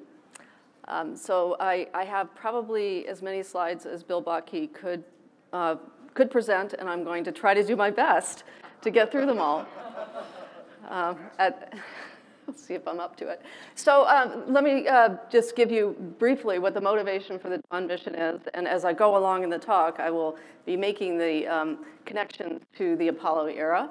Um, I think this was a mission that probably wasn't on the radar screen uh, during that time to go visit um, small bodies outside the, the orbit of Mars. Um, and the, the motivation for this mission really wasn't to, to look at small bodies, but it was to go back in time and understand the role of size and accretion time in, and, um, and the differentiation and interior evolution of bodies that would come together to form planets and other um, uh, bodies in the solar system. Um, also, what was the role of initial composition and the accretionary environment in the uh, outcomes that we see today? Uh, and finally, how did impacts uh, change those bodies uh, into uh, the, the, the ones that we see today? So this was the main motivation for the mission, and, and Ceres and Vesta were the targets because they were um, they had the ability to really give us uh, two end-member data points of, of what this population of, of early forming bodies um, were like. So the other um, important thing about Vesta, of course, is it's the source, or was thought to be the source, of the howardite eucrite diogenite series of meteorites, and uh, stimulated by the return of Apollo samples and, and studying the moon in the context of these samples, a program was initiated to look for connections between meteorites in the uh, collection on Earth and, um, and asteroids. And so um, John Adams, Tom McCord, and Torrence Johnson started this uh, survey to match telescopic spectra with the spectra, reflectance spectra of meteorites in the collection. And um, very early on, they made a confident match to Vesta. And here you can see um, the, the reflectance spectra from um, eucrites and diogenites and uh, the telescopic spectrum of Vesta. So that was um, a, a, really early and important discovery. And then they didn't find any other confident matches um, in the collection. So that uh, told us Vesta is fairly unique and also an important target for exploration. And more importantly, um, we can see that we have more material from Vesta in the meteorite collection, uh, vastly more than we have from the moon or Mars, even including Apollo samples. So we had an opportunity to really um, make a, a, a, great leap forward in, by understanding the context of where these samples came from in kind of a reverse sample return mission um, um, fashion. And so the combination of all of all the things we've learned from the HEDs and the ground truth from Dawn have really made Vesta the best known planetary body aside from the moon. And there are nice um, comparisons that one can make between the two. So let's um, look at these two bodies that, that changed from being smudges, even um, with the most powerful uh, telescopes we have. This is from the Hubble Space Telescope. Um, we changed from uh, looking like this into um, a, a, real geological world uh, with um, complex geology, tectonics, and, um, and very steep and very steep topography.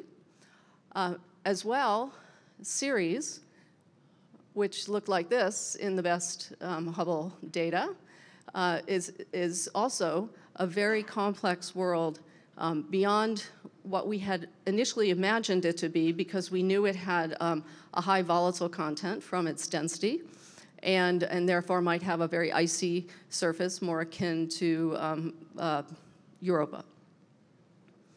So I just want to um, leave that there for just a moment, to sink in um, how, how far we've come from not really thinking about going to these bodies um, in the Apollo era 50 years ago to, um, to being able to study them in great detail and really understand fundamentally how these planetesimals, protoplanets, dwarf planets um, formed and evolved and what implications that has for um, the early solar system.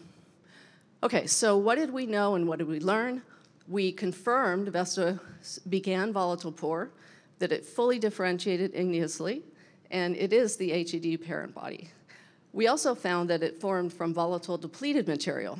So it started out dry. Um, it had a complex magmatic evolution and created volatile rich material that was delivered by impactors. For Ceres, we confirmed Ceres is volatile rich. It's partially differentiated, which was a, uh, a prediction made by its shape, and that experienced global aqueous alteration. There were um, early uh, indications that the surface of Ceres uh, contained carbonates and other products of alteration, including ammoniated species. And we did learn uh, by direct um, observation that Ceres is ammonia and carbon rich, and uh, while similar to a CI chondrite, it's not a match. Um, also, very surprisingly, that it has recent brine-driven geologic activity. So now I'll, I'll, I'll, look at each in, in turn.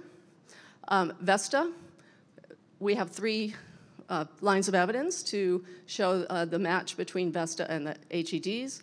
The uh, band centers of pyroxene uh, are shown here in the gray cloud uh, against the measurements made in the laboratory based on the HED meteorites.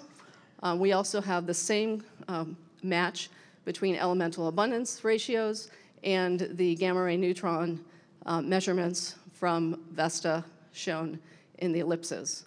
Um, and then finally, the core size that we were able to infer from Dawn's gravity and topography constraints is consistent with that which was predicted based on the HED um, models of Vesta's differentiation. So we also found, we, we knew ahead of time from, um, from Hubble and other telescopic observations that there was a giant impact basin in the southern hemisphere of Vesta. And we found that indeed um, that was true, but there were also two basins, um, the Veneneia being the older, and then the giant Rheasilvia basin. Um, these excavated deep into Vesta's interior, but we um, in contrast to expectations, did not see olivine, which we expected based on kind of the layer cake differentiation model. Um, we also determined by the age of this and uh, age of the basin and um, its consistency with the uh, inferred age of the vestoid population that the Rheasilvia impact is likely the source of the, the main source of the meteorites that we have in our collection. So we, we did also uh, essentially find the smoking gun for the HED Vesta connection. Now, it's also known because there was so much study of these rocks in the lab that, um, that there were variations in the collection which weren't consistent with a global magma ocean or a, a consistent um, magma composition. And so this was, could be explained by having a heterogeneity in the um, magmatism and the possible, uh, but, but also left open the possibility that there were multiple parent bodies for the HEDs. Now, melting models predicted there was no magma ocean, so that would be able to explain that variability. Um, and then uh, the last, or the most recent model, um, posits that Vesta started with a magma ocean phase of equilibrium crystallization and then transitioned into a, a mode where the fractional crystallization within late stage magma chambers took place. So we were able to test these different hypotheses with our data. And here um, you just see in these two plots from, from the gamma ray neutron data and the, um, the IR data, the distribution of diogenite in the warm colors and eucrite in the, uh, the cooler colors. And what we can see here is there's, there's a preponderance of diogenite in uh, certain areas of Vesta, and it's also where we see the only occurrence of olivine that we can identify on the surface um, in, in any uh, strong concentration.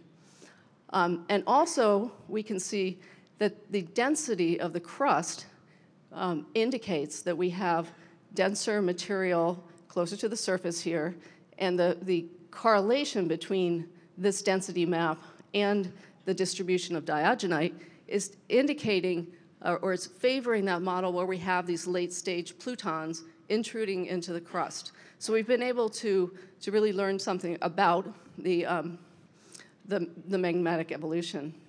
Now I'm going to move really fast.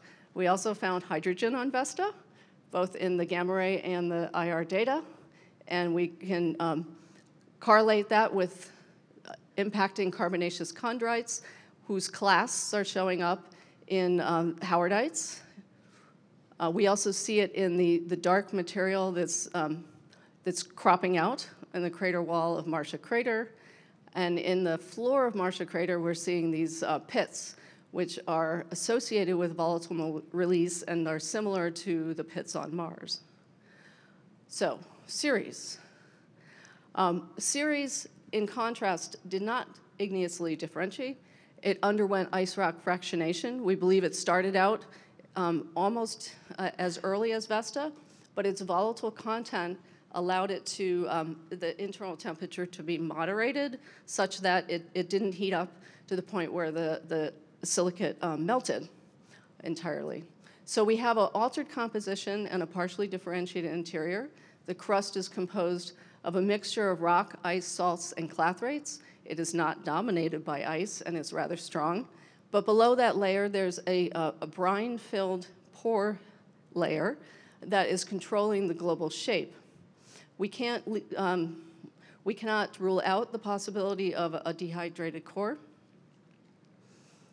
And the surface is showing us that the that, that Ceres has had a very complex or, or a, a, a chemically uh, evolved um, process uh, of alteration leading to the uh, surface being dominated by ammoniated clays, serpentine and carbonates as predicted um, by the telescopic data. Um, but also we found the presence of sodium carbonates and ammonium salts, and it's really important that this is only the third body in the solar system in which we see this uh, chemistry, and the others being the plumes of Enceladus and then hydrothermal areas on the Earth. So we also detected organics at one location, but we um, associated with a, a, very specific color in the framing camera data. But we, um, we do have some other indications that it might be more uh, diluted over the surface, especially because the surface is very carbon rich. So this is a cartoon just to show you um, started out volatile rich. Um, there was melting of ice, um, a pulse of serpentinization. Then we ended up with a differentiated structure with a primitive ice shell. We've now um, eroded that ice shell off, garden, impact gardened it, and now we have a, a, a surface which is, is quite complex and also where the volatiles are being remobilized by impacts to create um, the the surfaces that we're, uh, the, the activity that we're seeing today. So my last few slides here are going to show the, the examples of these, these recent um, brine-driven geologic features. The, um, the most uh, famous one is Ahuna Mons, which is a constructional feature uh, created with of sodium carbonate. It's fairly recent, um, yet the abundance of salts across the surface um, similar composition indicates that um, these, these salts are in, uh, abundant in the near surface. And of course, the, the facula in Occator crater and in other craters are also um, showing us that we have um, some very uh, recent and ongoing activity. And I'm going to, I really want to show you this movie.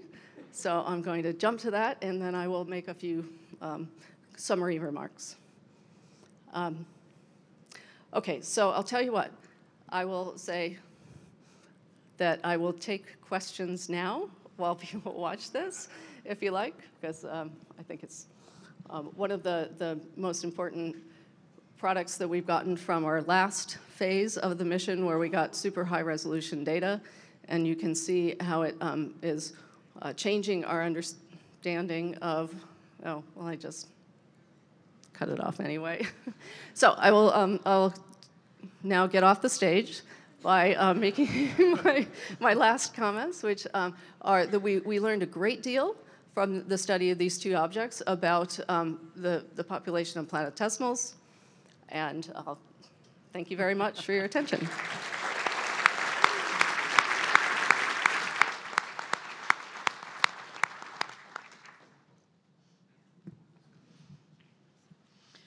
Okay, our next talk is uh, going to be the exploration of Jupiter uh, with Fran Bagenal. Thank you very much. So my enormous task is to review the past 50 years exploration of 71% of the mass, the planetary mass of the solar system. So um, what I'm going to do is start with what we knew about Jupiter before Apollo uh, move forward. Of course, we knew, uh, Newton calculated that uh, Jupiter is 300 times the mass of the Earth and about uh, 10 to 12 times the size. So we knew it was a big gas giant planet. Uh, we've been observing it from the ground ever since um, uh, Galileo and, and before, of course, but with telescopes after Galileo. And we can see things with ground-based observations of the weather. Uh, and indeed, before Apollo or the era of Apollo, um, we could get measurements of the composition. Uh, here we have ammonia and methane and hydrocarbons detected uh, in addition to the hydrogen and helium that we know about. But what's also interesting is that at the time of 1969, we only knew of 11 moons of Jupiter. Uh, and of course, we knew there was something funny about Io, this uh, weird little behaving uh, moon was appearing to brighten up after an eclipse, which had some suggestions about maybe there could be something like frost on the surface. Now, also, this little uh, bizarre pugnacious moon uh, triggers radio emission, and we knew this back in 1955 uh, or so when the radio emissions were first detected, and they seem to be correlated with the position of Io, telling us that there seemed to be some electrodynamic coupling between this moon and the planet Jupiter. And around the same time, in the late 50s, early 60s, was the discovery of radio emission at decimetric wavelengths that told us that here we have a planet with a very strong magnetic field and a large amount of electrons trapped in that magnetic field. Now, this was very important when we sent the space first spacecraft out there. Not only did the pioneers go through um, the asteroid belt for the first time, which was a big unknown, uh, but also to go into this high radiation environment. And indeed, the pioneers um, detected strong radiation, noted that they were being, the radiation was absorbed by the moons, and this produced a very large magnetosphere.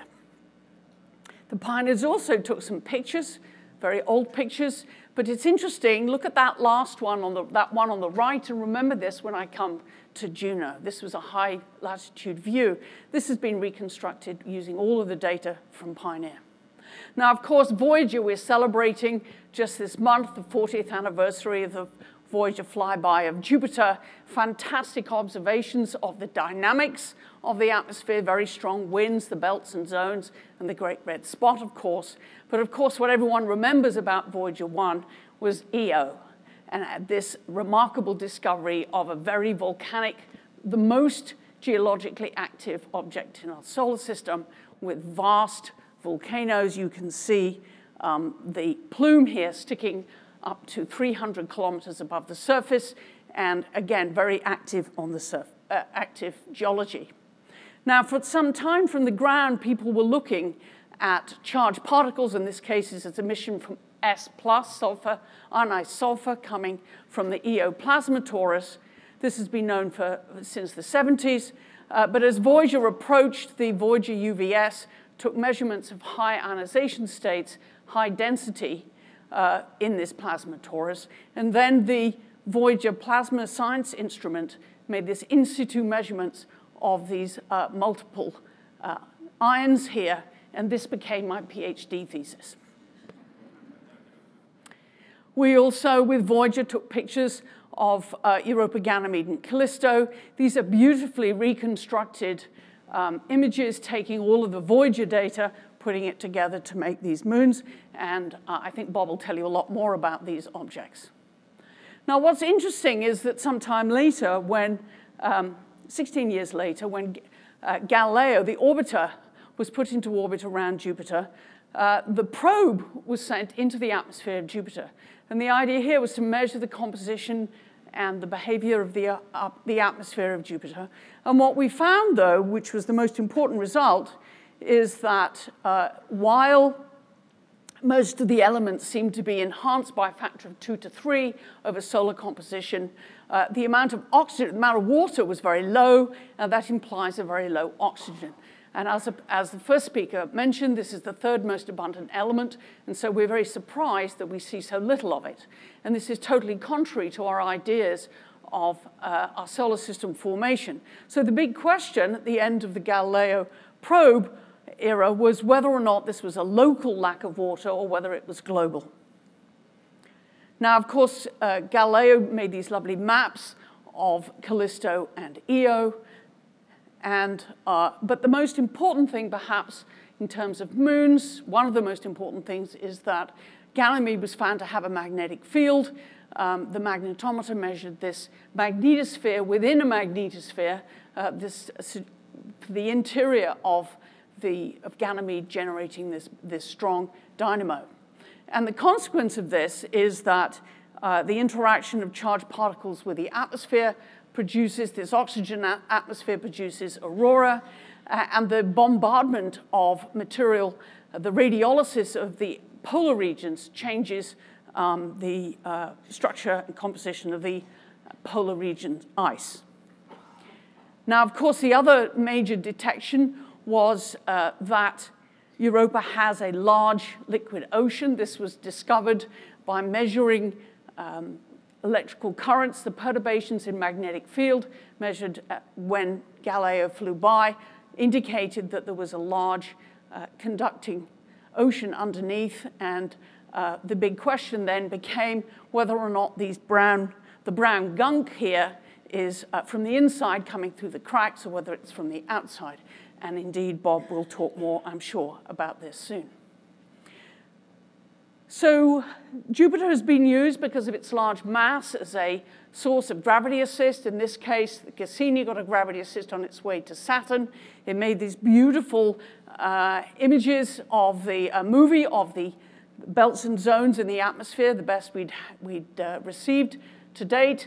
And then uh, the other thing is that the UV instrument was able to make these very high resolution spectral measurements of the Io plasma torus, putting together this movie, showing you how this donut of charged material wobbles with the tilted magnetic field of Jupiter. So a ton a second of sulfur dioxide is spewed out of this moon, becomes ionized and trapped in the magnetic field, spreads out, becomes highly uh, energized, and then begins to uh, come back and impact on the planet.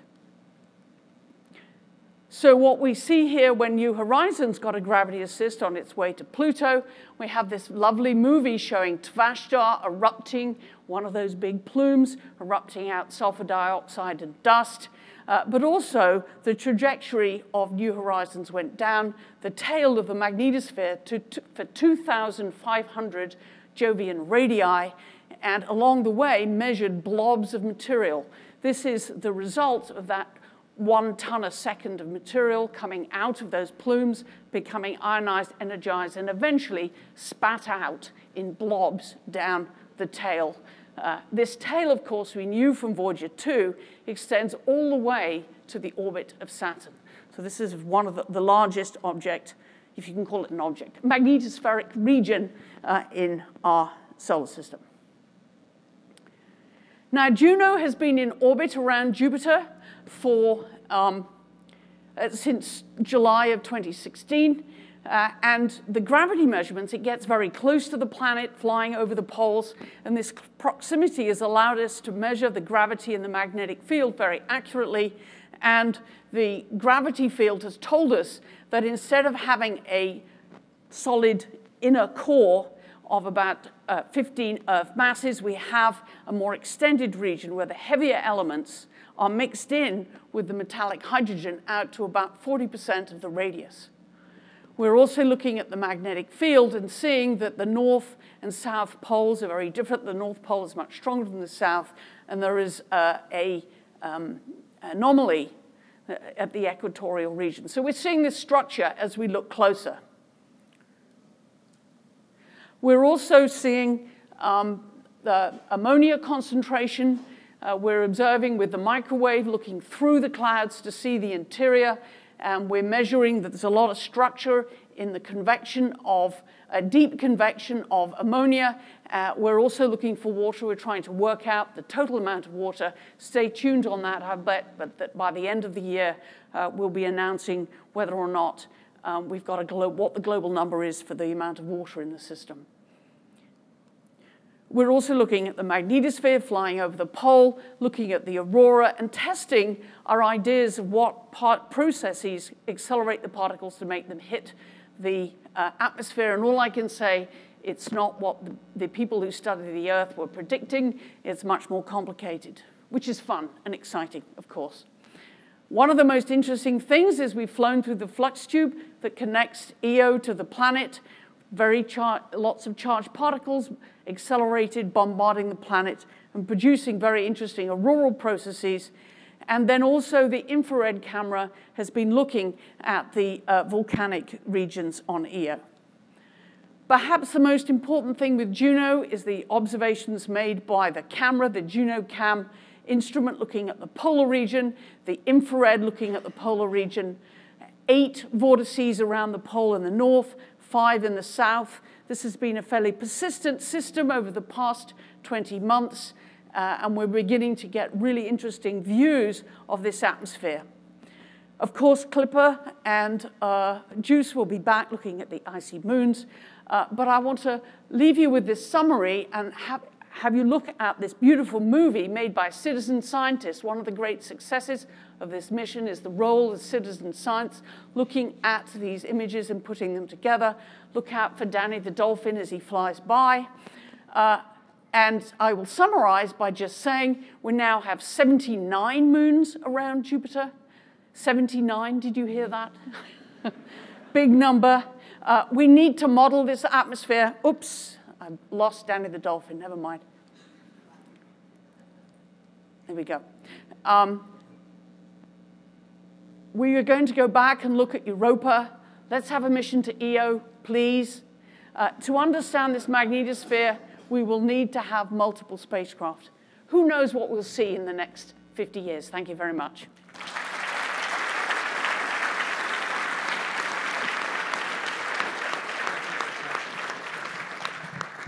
Okay, we have time for one or two questions.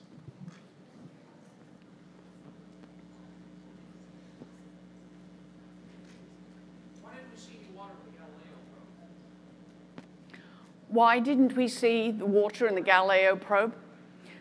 That's the big question that Juno is addressing. Um, the answer, I believe, is probably that it went into a very dry area. It's like landing in the Sahara.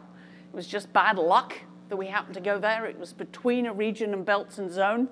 Um, but it's very important to know whether or not that amount of oxygen is comparable to the other abundant heavy elements and whether it's at the two to three point um, and uh, above solar. And we're working on that and we'll get results, I, I think. Yeah. Thank you.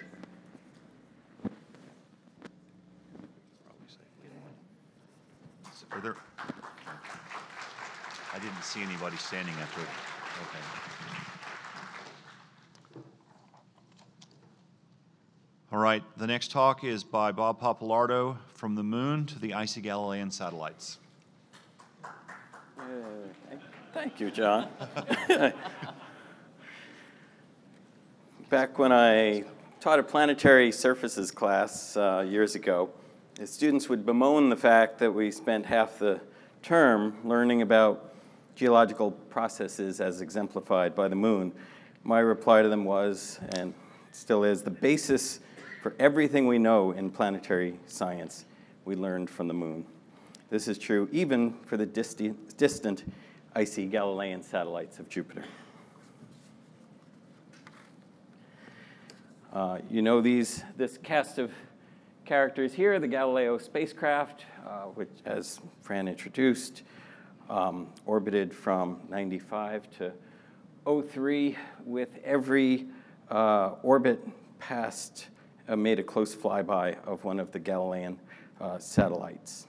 Uh, Fran introduced Io a bit. I'll concentrate on Europa, Ganymede, and Callisto with the moon there for scale. Ganymede and Callisto about half ice, half rock. And Europa really mainly a rocky object with a skin of H2O about 100 kilometers thick. There we go.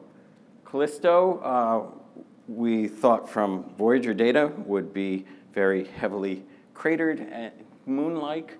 What we saw up close uh, was a landscape that was heavily cratered, cratered uh, uh, by large craters, but small craters were relatively depleted. We saw uh, things like pits, which suggested sublimation erosion, and there's evidence of mass movement, uh, dark materials moving down slope within craters, with also evidence for CO2 in the surface and in the atmosphere uh, from the near infrared uh, data. What seems to be going on at Callisto is that carbon dioxide is so slowly sublimating over time, leaving dark lag, and uh, bright knobs are where uh, uh, ices have, have clung to as cold traps. Uh, overall, uh, there is a lack of small craters on Callisto, which may be from mass wasting, or even a lack of small impactors, but there's also a lot of spatial variability of the small crater populations. And that may be due to, as, as uh, Kai Williams and I looked at, for very small craters, less than a kilometer on Callisto. So we, we found a lot of variability there here in our, our plot. Here's the equilibrium line and, and we're generally well below uh, equilibrium.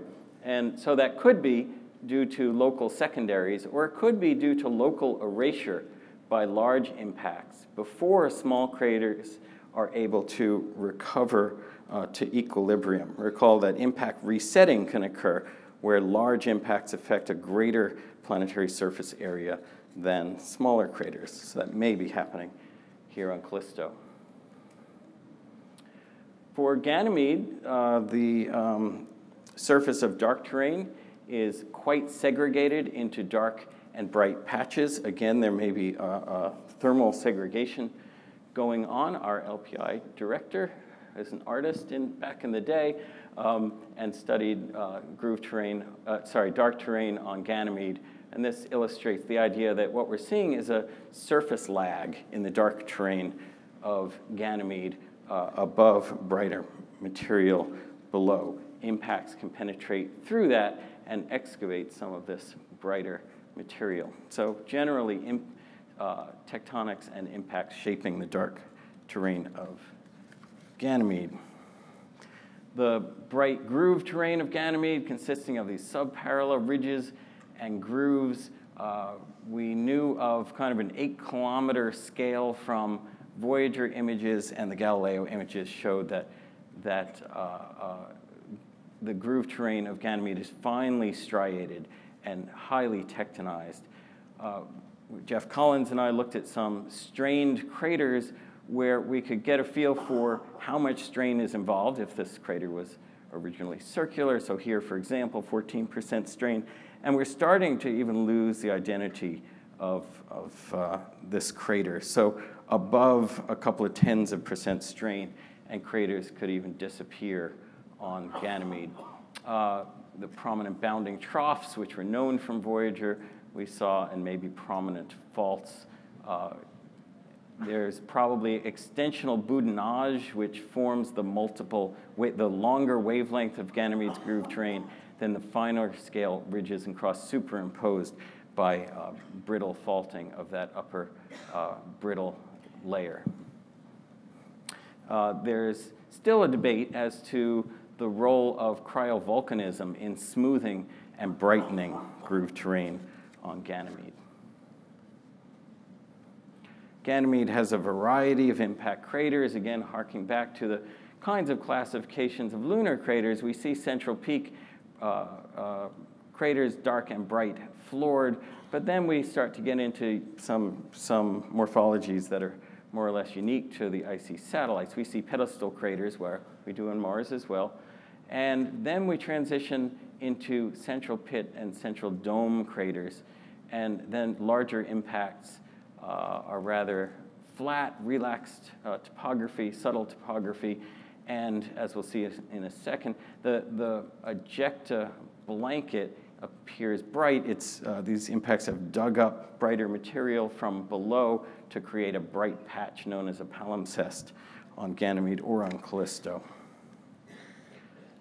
In fact, impact materials on um, the icy satellites, examples here, Ganymede and Callisto, uh, were from Voyager data thought potentially to be volcanic, and we see that impact materials can masquerade as volcanic materials. So here's Buto facula that we were looking at a second ago, and the Voyager image showed it to be a bright patch. We weren't sure if it was icy volcanism, but it's clearly, as we look at it, the, the um, uh, continuous ejecta blanket instead.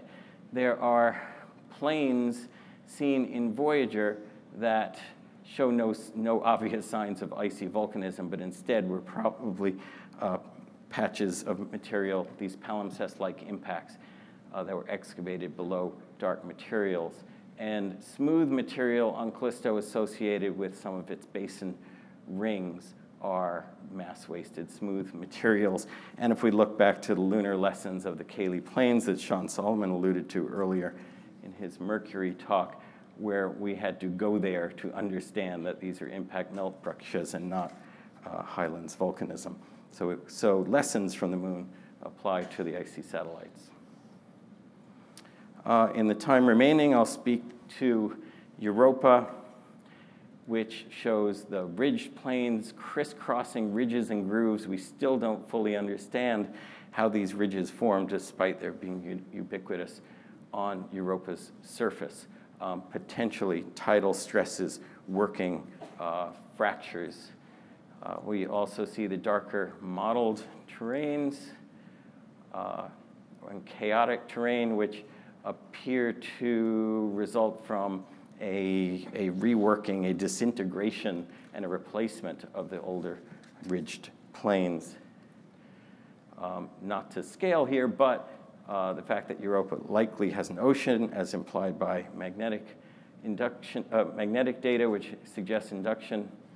Um, we have tidal flexing that could be as much as 30 meters every time Europa orbits Jupiter each 85 hours, three and a half Earth days and that flexing drives stresses on the order of tens of kilopascals, which can fracture the surface.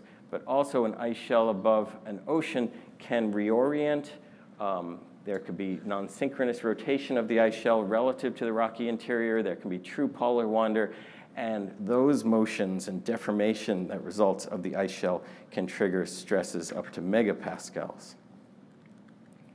We see bands on Europa uh, where uh, pre-existing ridges have opened up to expose material from beneath. Sam Howell has recently done some beautiful modeling of how material can make it all the way from the ice-ocean interface up to the surface in the centers of these bands. The ice shell is likely convecting, at least in places, uh, as implied by the existence of these pits, spots, and domes several kilometers across where the surface has been upwarped um, or new material has extruded onto the surface. Uh, this is a somewhat old model by Amy Barr uh, showing how convective upwellings from the ice-ocean interface can reach shallow depths, but then other processes, compositional or thermal buoyancy, are needed to breach that cold, stagnant lid. We see the famed and aptly named chaos terrain uh, on Europa, Conamara, chaos, and these, these city-scale blocks of ice, and the matrix in between, here's Thera, um, and Britney Schmidt has advocated an intra-ice model for the formation of chaos, where local melting could create a lake uh, and cause collapse of the surface above due to volume change from melting. Uh, and then as this freezes, it may buoy a chaos region back up. So chaos are places we want to look for water below the surface. Also harping back to uh, the lunar literature are models of uh, how we might get spots, diffuse spots, seen along some features at Europa, like Rhadamanthys linea here. And um, it's possible, as Fagents et al. and Lynnae Quick have each modeled that these relate to, um, uh, to volatile-driven extrusion of materials, of plumes that may tap liquids uh, in the shallow subsurface. Unlike Enceladus, where fractures can penetrate deeply, on Europa it's much harder to penetrate deeply because of the higher gravity, and so, um, uh, so fractures may be tapping subsurface reservoir, intra-ice reservoirs. Instead, we didn't see obvious evidence of plumes from uh, Galileo images. There were very few that could be used for plume searches, like this photobomb of a rings image uh, taken on the, the 10th orbit of Galileo. But of course, Hubble Space Telescope suggests evidence of um, hydrogen and oxygen glow above the surface of Europa. I'm running out of time, so I'm going to skip that and go right to the comparative uh, interiors of the satellites. Callisto, from the gravity data, suggesting it is incompletely differentiated, um, yet has an ocean based on the magnetometry data at Callisto. Ganymede past tumultuous activity promoting full differentiation and a hot iron core to generate its magnetic field and a perched water ocean at similar 100 kilometer depth. But Europa, with that ocean in contact with rock below uh, the most Earth-like ocean um, of the three, with pressures and temperatures and potentially composition that is Earth-like. And of course, I'll close with the fact that we have a mission that we are getting ready to send there to Europa to explore it that much better. Examples of the remote sensing coverage here, and we also have a neutral gas spectrometer, a dust analyzer, plasma investigation, and, as you probably heard in the news, a new facility magnetometer uh, to add to the ice penetrating radar, the camera suite, the uh, thermal imager, the ultraviolet spectrograph, and the infrared spectrometer. Thank you very much.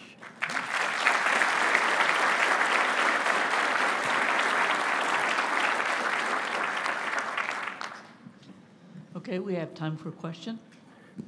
Bob, based on your knowledge of Europa, what does your instinct tell you the best place for the lander to touch down and give us a window into that ocean and what organics and what that ocean might look like? Where should the lander touch down? What kind of feature do you think?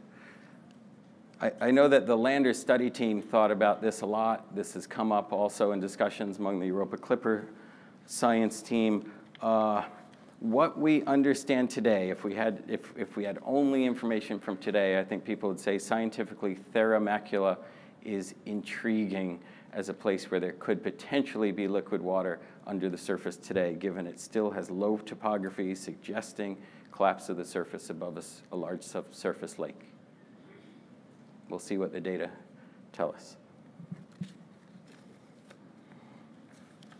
Okay, thank you.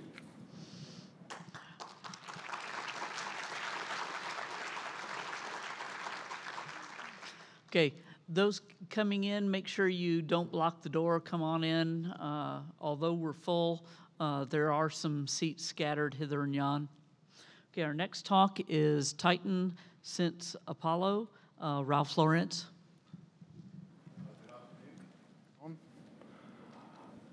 Uh, as you've, you've heard, there are many uh, unique moons in the solar system, uh, but the case could be made that some are more unique than others. And 50, 50 years ago, um, that was all, almost all that was known about Titan.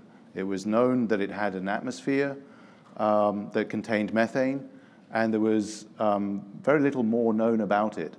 Um, and actually, if you want to read about what was known, it's almost all encapsulated in a single small proceedings volume, um, which you can download. Uh, it's a NASA, NASA document.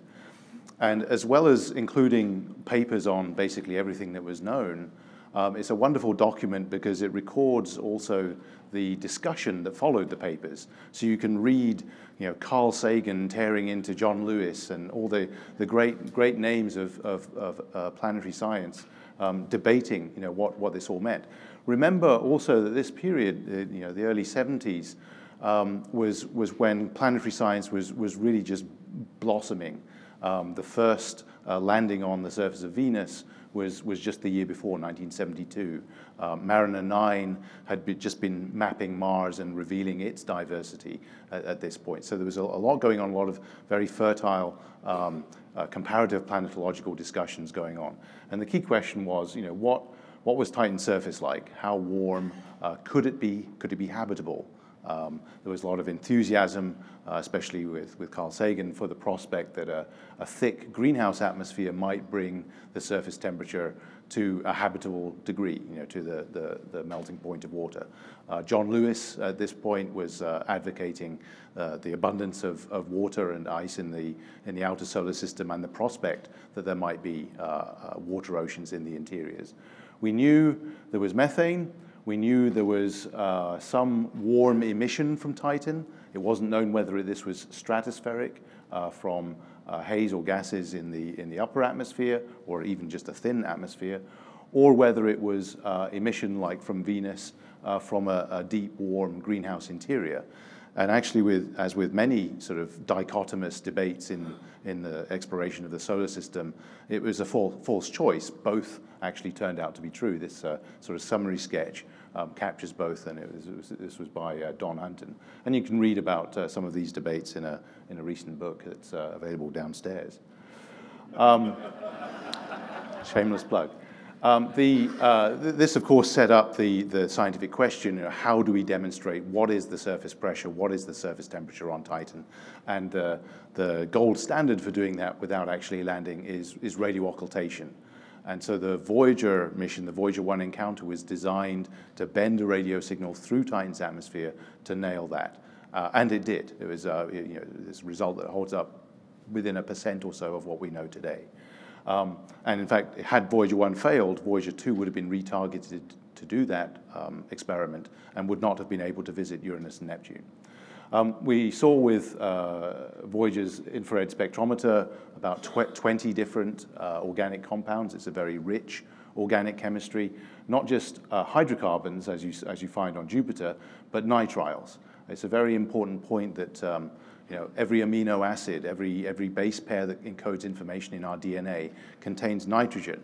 And it may be that the uh, Jovian system, because of its formation conditions, is, is relatively deprived of that element as, as well as uh, carbon compared to, uh, compared to the Saturnian system. Of course, the surface was hidden. So uh, for the next decade, uh, Titan remained very much a, a, DPS kind of world rather than, an LPSC kind of world. Um, but as, um, as, as uh, telescope uh, telescope techniques progressed, um, moving into the early 90s, um, Titan actually became the sort of prototypical exoplanet.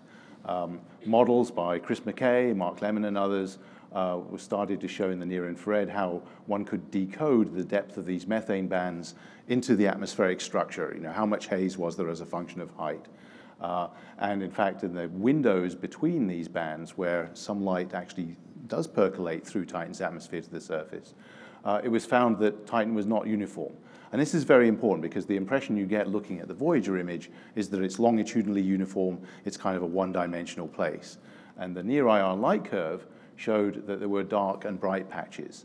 And that means that the stuff drizzling down from the atmosphere isn't drizzling down uniformly everywhere, or there's some processes that are sh shuffling it around, weather or, or other activity.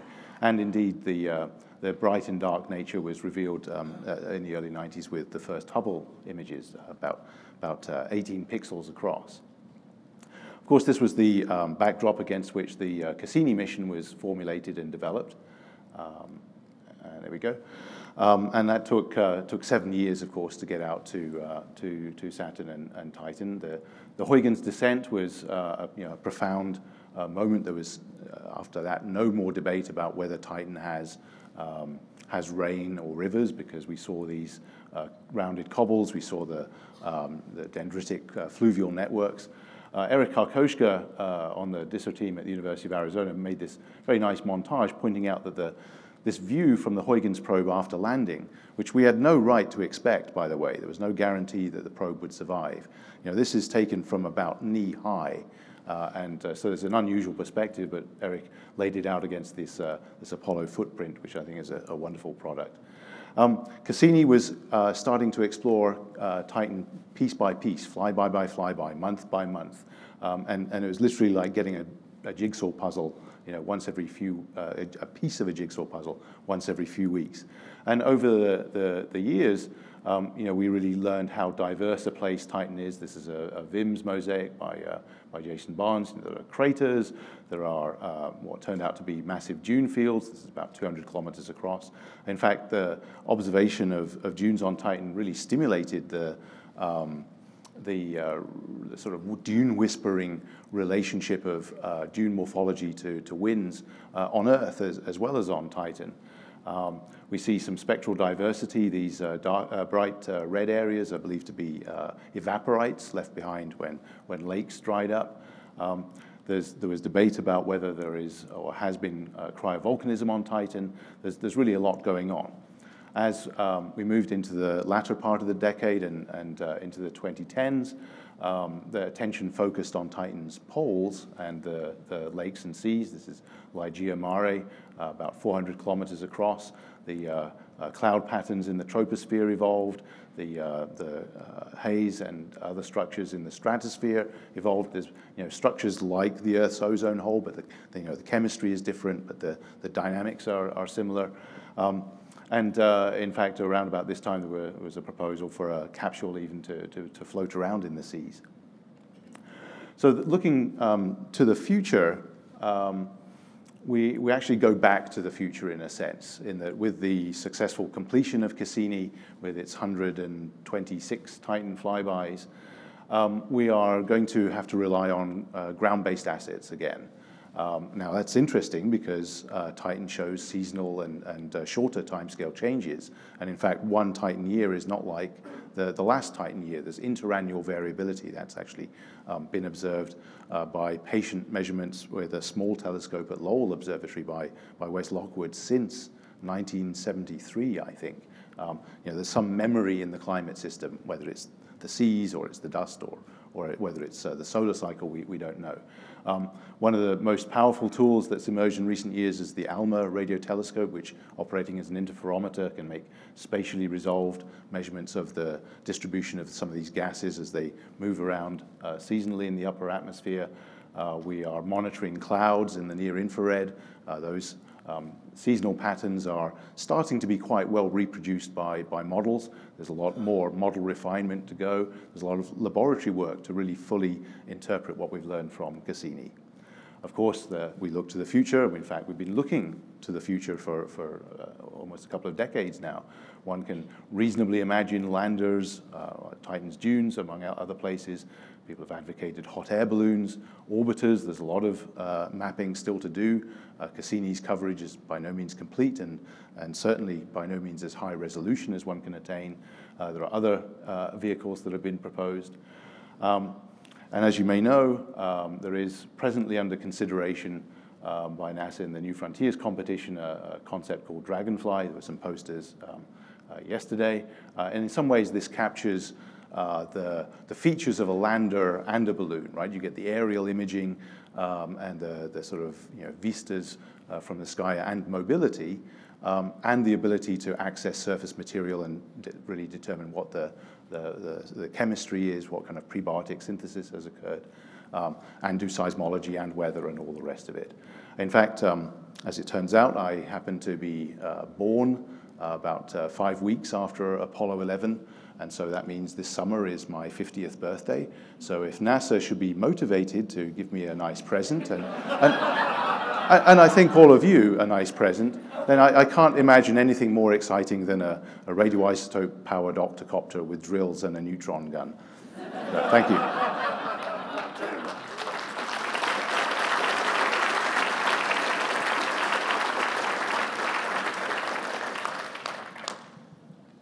Okay, we have uh, time for several questions. I, I should add that uh, this, this, although this is the most immediate prospect for another mission, it by no means um, undermines the opportunity that other platforms can offer. Uh, you know, there's, Titan is a rich place with a lot going on at different scales, and so orbital views um, and exploration of the seas are still, still wide open. Uh, Tim Livengood, University of Maryland. What about pontoons? Ah, that's a, that's a great question. Um, so I spent a lot of time uh, working on the Titan Mare Explorer concept um, you know, back in, in 2010, 2012. And you know, one has to confront some quite challenging environmental interactions with such a mission. You know, how big are the waves? Uh, how much does the capsule move in response to those waves?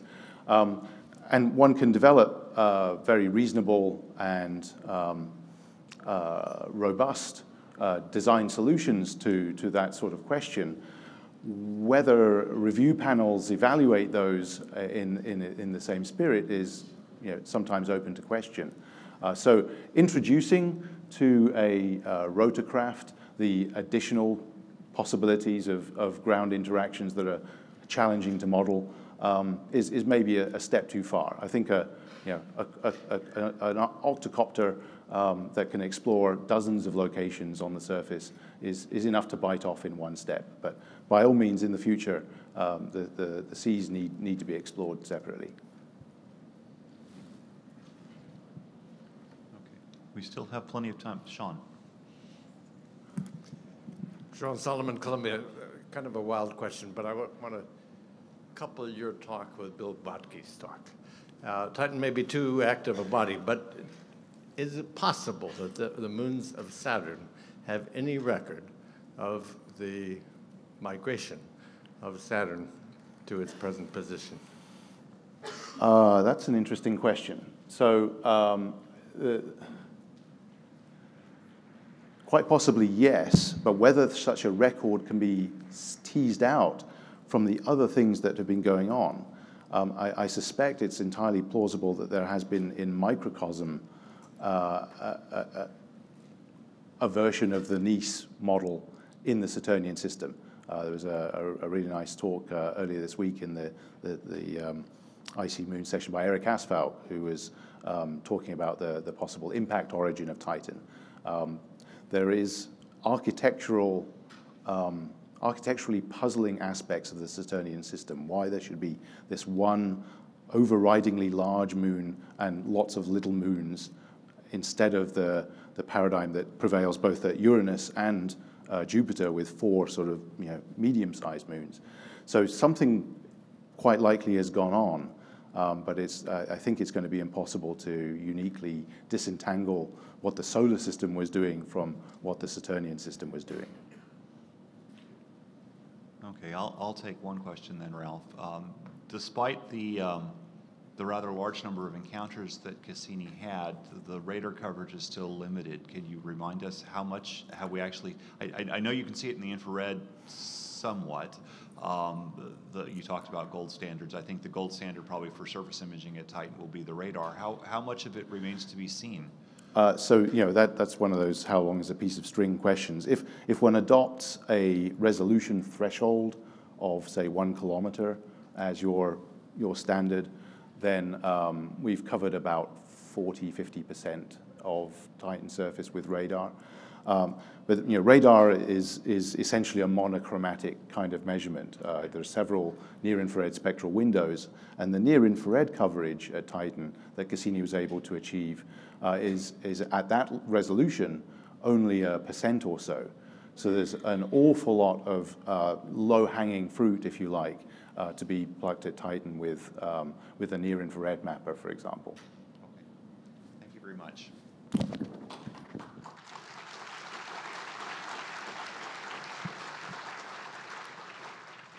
The next talk is by Waite, Glein, Postberg, and Lunine, Enceladus as revealed by the Cassini-Huygens mission. Hunter Waite is the speaker. Thank you. Um, I grew up in Huntsville, Alabama in the 19 1950s and 1960s, and my dad worked for NASA throughout the uh, Apollo era, so it's a really great pleasure to be here to talk to you today. I do want to, I guess I get, have the distinction of talking about the smallest object of the day, which is Enceladus. I'll go on to the first slide. It has a diameter of about 500 kilometers, a density of 1.6 grams per cc. You can see uh, from this figure that it's sitting about three radi uh, Saturn radii. Uh, it was embedded in the E-ring, which was a mystery when we went there. It quickly was resolved. Uh, the magnetometer saw an interesting deflection in the magnetic field that suggested something was going on, and we targeted the moon early and found out it was gushing out material, both in the form of water, and I'll go through that, as well as ice particles that were actually the, the origin of the E-ring. So the E-ring is made by Enceladus itself I'm going to talk about the present understanding, uh, in particular, uh, combination of uh, data from both gravity and imaging have given a coherent picture of the internal structure. The uh, core density, so this is a rock portion, is about 2.3 to 2.5 grams per cc. With the core radius, it's about uh, on the order of 200 kilometers. The water plus ice mantle is about 50 kilometers thick. The ice shell thickness uh, varies, is about 20 to 25 on, in general, but it probably thins to about five, kilometer, five to 10 kilometers at the South Pole where, we where, where, where we see the geysers coming out. So ha having established that we have an internal ocean and knowing that the material that's coming out of the interior is coming from that ocean was an important accomplishment that Cassini made. Some of the evidence that suggested that we were looking at an internal ocean, salts and bicarbonates were seen by the cosmic dust analyzer experiment in the grains similar to the Earth's ocean. I'll come back to this point. We saw organic chemical compounds measured both in the gases and the grains.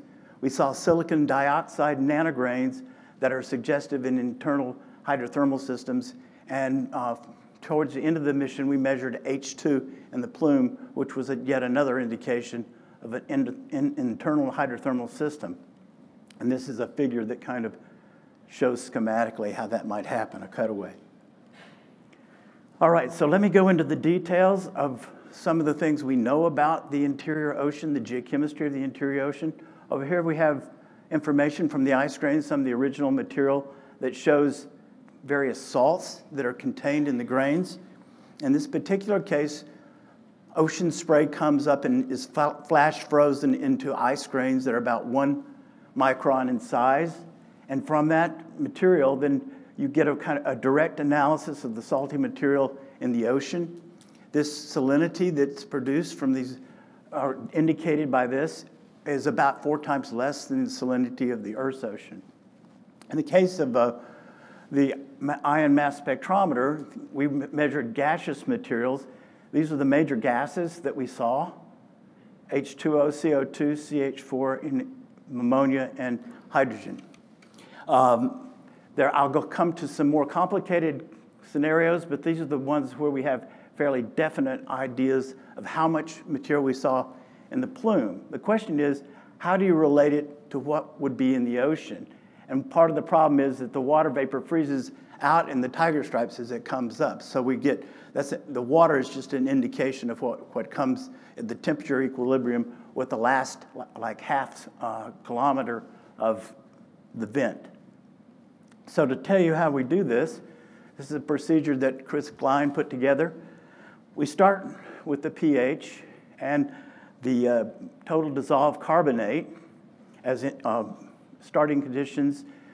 Use this in um, models to determine the speciation, particularly the CO2 molality.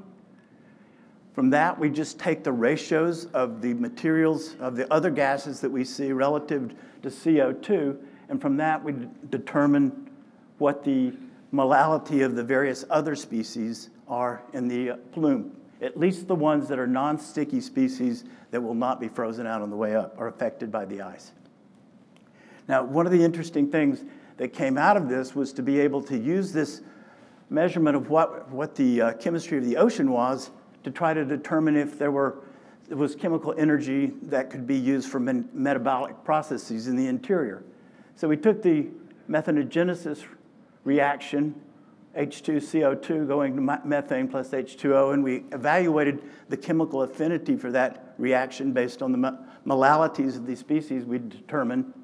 And for the pH range that we, were, we, we knew was present, we see that there's a positive affinity, so there's H2 chemical energy in the interior ocean that could be used for metabolic processes. Now, the other thing that's of interest, of course, certainly with regard to habitability, is the organic content. This is a uh, spectrum from the ion mass spectrometer that goes up. I don't know what happened to the labels, but it's in some font that is unknown. anyway, this is 0 to 100 AMU across this axis. the various colors, uh, let's see, we got water. Water, is, water is blue. Uh, I have to work my way through this. CH4 and uh, I believe NH3 are the green. The red is from CO2. Uh, yellow is from hmm, various hydrocarbons. These are probably C2 hydrocarbons. And then their, there are higher order hydrocarbons. C3 hydrocarbons are the orange, and C4 and C, well, C6 hydrocarbons are the purple.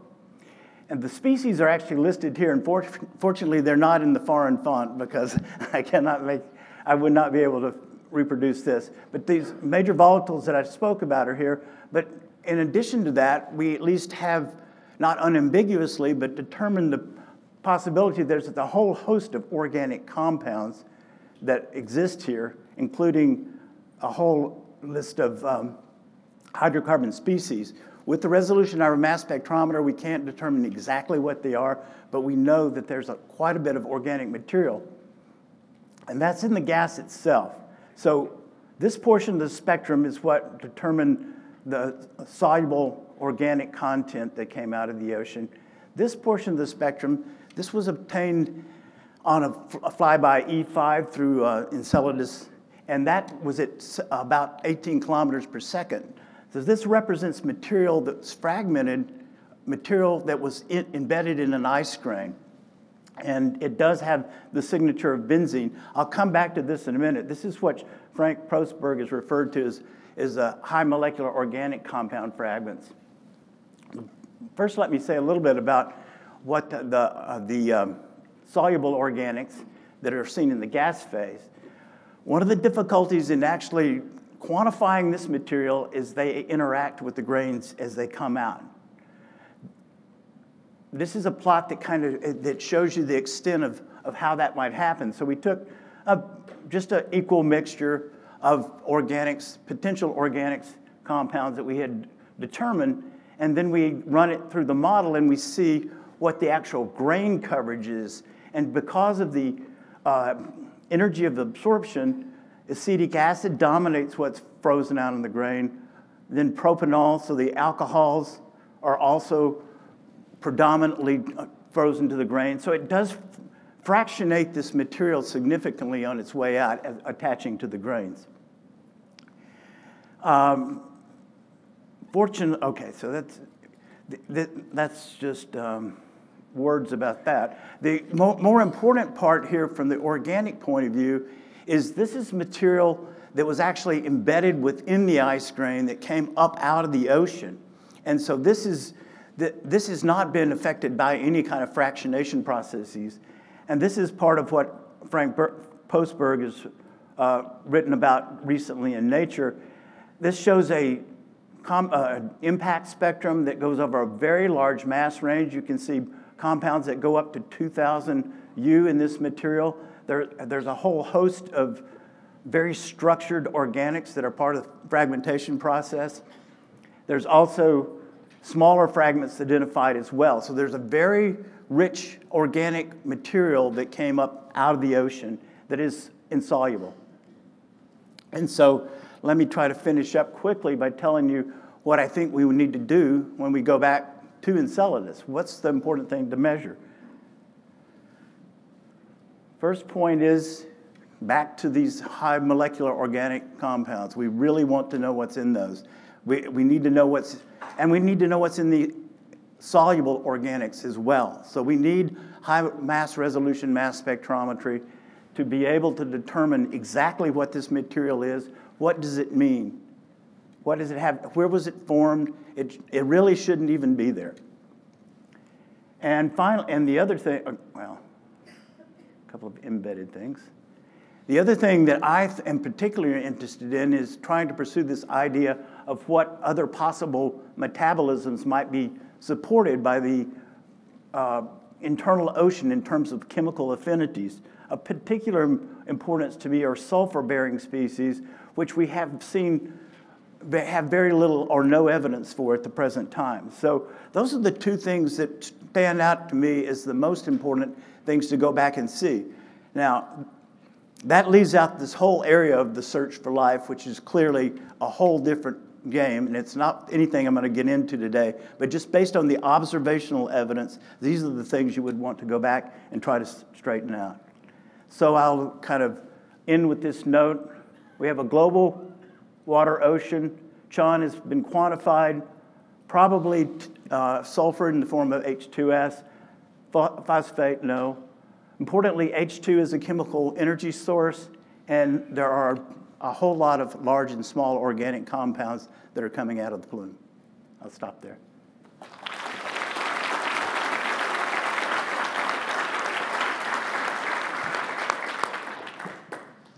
Okay, we have plenty of time for questions. Hi, Carol Stoker at NASA Ames. Is there any way to infer from what you have actually measured in the plume what the concentration of organics might be in the ocean? Uh, very good question. Um, I think that is possible because we with the C2 compounds, we have a pretty good idea of what that percentage would be. It's a like uh, point, some, somewhere below 0.1% in terms of total organic content. But it does, that's mostly, I'm talking about the soluble organics. Uh, it's harder to come up with a number for the insoluble component. I think Frank uh, and I decided that it was somewhere on the order of 0.001% of the total outflowing material, which is about 200 kilograms per second.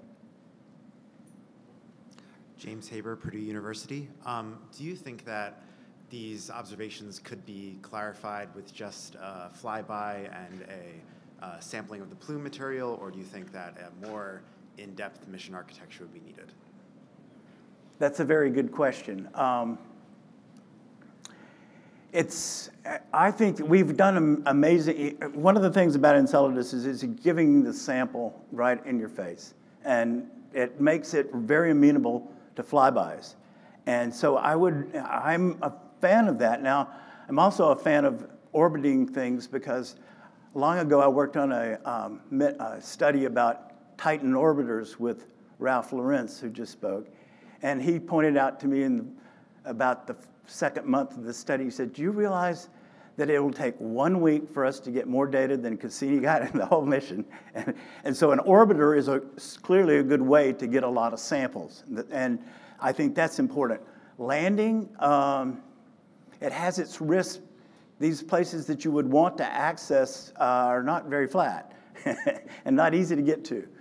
Uh, ultimately, if you're going to try to look for life you're going to have to get into the ocean, so John's submarines are going to have to go. John Culberson, what about dropping a probe through one of those crevasses? Are the crevasses permanently open? How widely open are they? And certainly, if they exist on Europa, since we have a lander going to Europa anyway, why not uh, attach some uh, drop probes on the end of those sky crane uh, on the sky crane going to Europa and try to get down into those crevasses, into the ocean? Yeah. Well, the, the uh, crevasses range from about, well, our understanding is that they're somewhere between 10 centimeters in diameter to about two meters. So they're pretty small, and they're probably fairly tortuous pass to the interior ocean.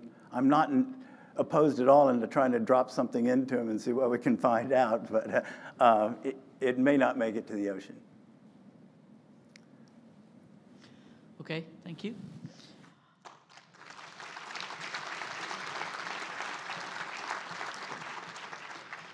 Our next talk is uh, the exploration of Uranus and Neptune looking into the past and towards the future of ice giant planets. Soderlund, Hofstadter, Simon et al., uh, Krista Soderlund. Thank you. And thank you to the organizers for the invitation to present on the ice giants today. I'm going to be presenting a wide view of ice giant systems, so I'd like to start off by acknowledging all of my co-authors who are really able to help me put together this broad view of this uh, system. So in celebration of this special session on 50 years of planetary science, I wanted to begin with a historical perspective. And in this one, this is what we've known before Apollo. And in summary, it's not that much for the ice giants. So Uranus was discovered in 1781, and this is more than 100 years after the discovery of the Galilean satellites and also of the Saturnian satellite Titan. And it was followed shortly thereafter with the discoveries of Enceladus and Ceres. And through these observations of Uranus, they were able to find that there were small irregularities in the orbit, and that could only be explained by the presence of a larger body further out in the solar system. So this led to the observation of Neptune, where it was mathematically predicted and then found through observations that way. And that was in 1846, so that was about 65 years after the discovery of Uranus. And then the next major milestone was in the mid 1980s when we had the Voyager 2 flybys of Uranus in 1986 and of Neptune in 1989. And this is where we got our first detailed glimpse into ice giant systems, and this is where I'll actually spend most of my time in the talk discussing what we've learned and also what questions remain from this information that we learned. And then 20 years after that, there was the launch of the Kepler mission, and this is where we got a profound view of exoplanets. And in the schematic that I'm showing here, as I'm basically plotting the number of exoplanets that have been detected as a function of their size. So you can basically see here that their smaller sized bodies are the ones that are most abundant of those that have been detected, and it's much more so than larger Jupiter or larger sized. But beyond that, we can see that this, but here, the Neptune-sized objects are actually the most abundant.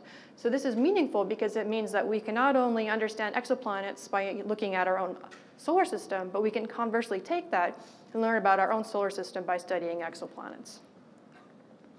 So as I mentioned, I want to take a broad view of the ice giant system. So I'm going to include both the planet itself, looking at the interiors, magnetic fields, including the intrinsic magnetic dynamo, and the magnetosphere, and heat flow and atmospheric dynamics, and then also go outside the planet and consider the rings, satellites, and formation processes. So starting with the internal structure, I'm first comparing them against the better known um, gas giants, Jupiter and Saturn. We have much better constraints on those. And what you're basically going to see here is that they have really radically different internal structures. So Jupiter and Saturn, you have this large outer envelope of molecular hydrogen and atomic helium. Below that, these planets are so large that you can have the hydrogen metallicize, and then they likely have a diffuse core that's not shown in this schematic. Uh, Uranus and Neptune also have an outer envelope that has a lot of hydrogen and helium, but there's also a lot of higher uh, mass components such as methane in this outer envelope. And as you go deeper into the planets, you actually have a much more water-rich interior. So the, here you have an ionized fluid water layer that has also some things like ammonia and methane dissolved within it. And then we potentially have a central rocky iron or rocky core at the, the center of the planets as well. But I should mention that the internal structures of the ice giants are not well constrained at all. There's actually not a single model out there that's able to explain the gravity measurements and the heat flow observations simultaneously without making ad hoc assumptions.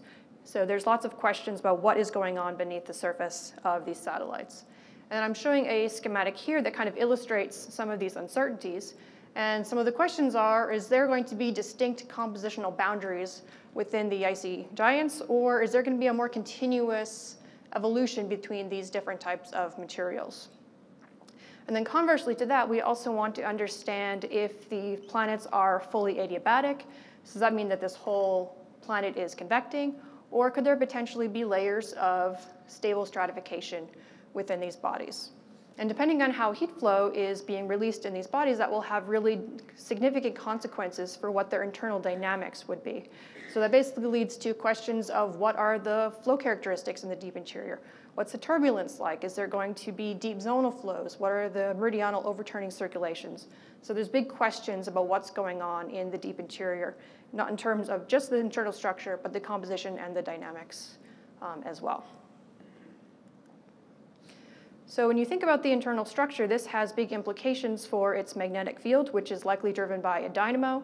So it's basically a way of creating magnetic field through the conversion of kinetic energy associated with convection into magnetic energy. And this is thought to be generated in the ionic oceans of Uranus and Neptune. And when you look at the magnetic field measurements, which is what I show here, this is the radial magnetic field component at the surfaces of Earth, Jupiter, Saturn, Uranus, and Neptune. And when you look at these comparatively, you see that Uranus and Neptune look radically different than the magnetic fields of the other um, planetary um, bodies in our solar system. And particularly, you see that this is multipolar, so you don't just have a simple dipole. It's also not axisymmetric, so that leads to a much more spatially complicated um, field structure. And then that again leads to many of these questions, which is what does a um, more detailed characterization of these magnetic fields look like? So here we're only able to resolve the largest magnetic field structures. So if we're able to go again and get more data, how much more fine scale structure would we see in these different types of maps? And also, when we do these magnetic field measurements from Voyager, that was like 30 some years ago. So then you also wonder, is there going to be temporal changes in the magnetic fields that have occurred since then?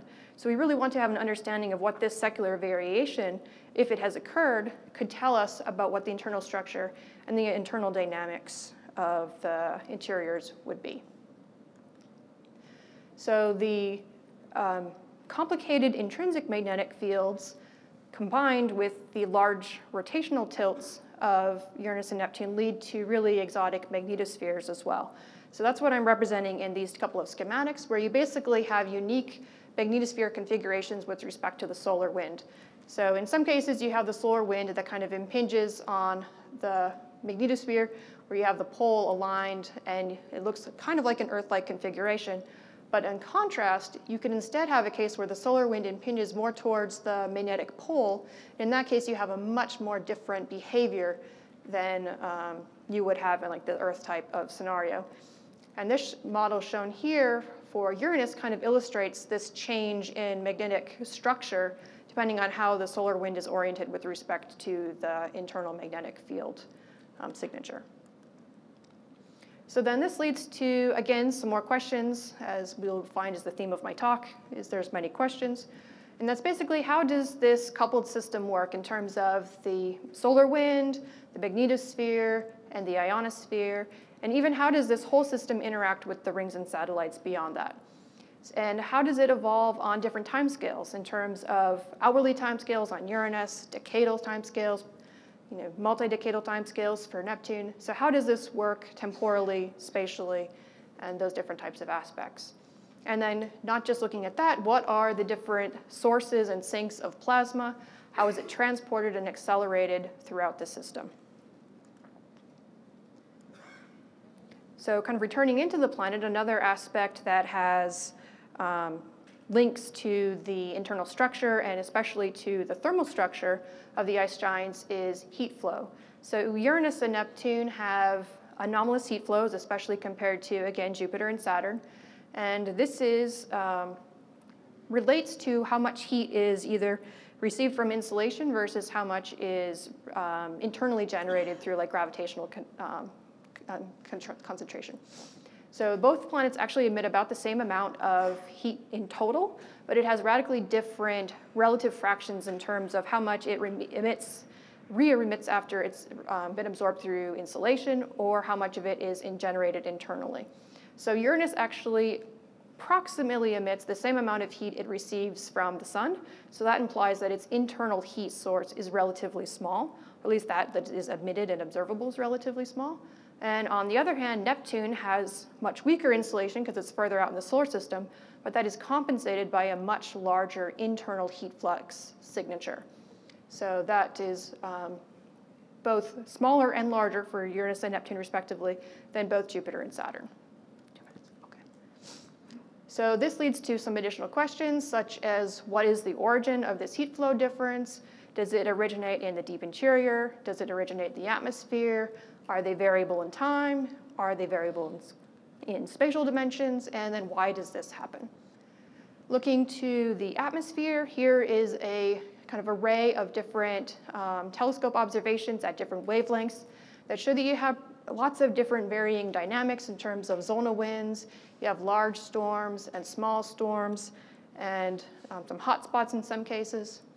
And then this leads to the question of what are the 3D circulations for these planets, both in terms of zonally and also as a function of depth. Meridional circulations are really poorly constrained, so that is especially of interest.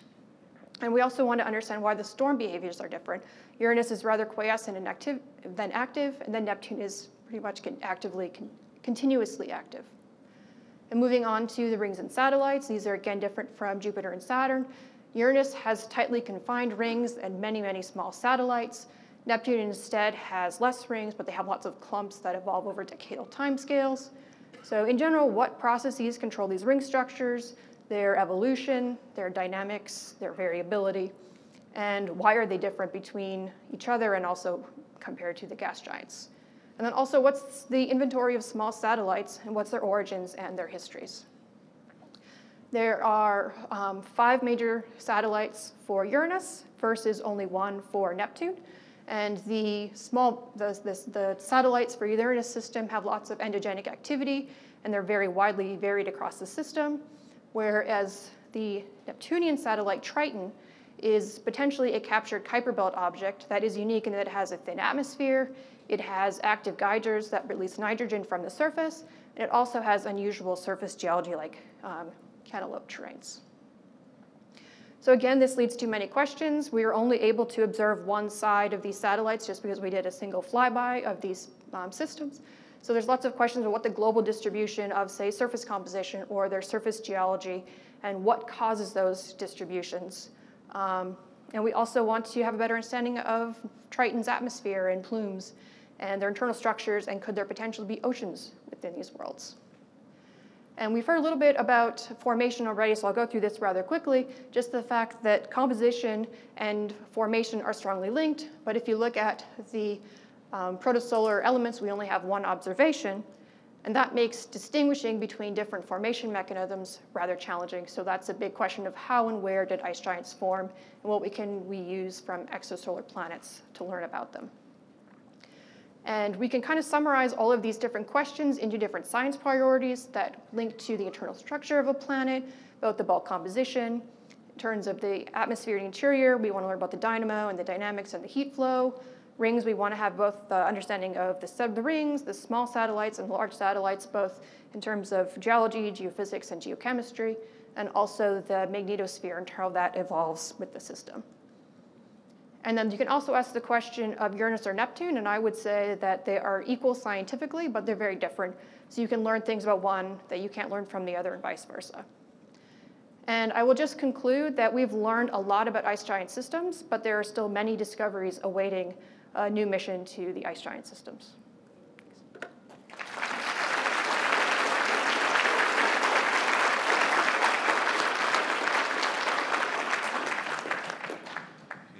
Have time for one question, if somebody would like.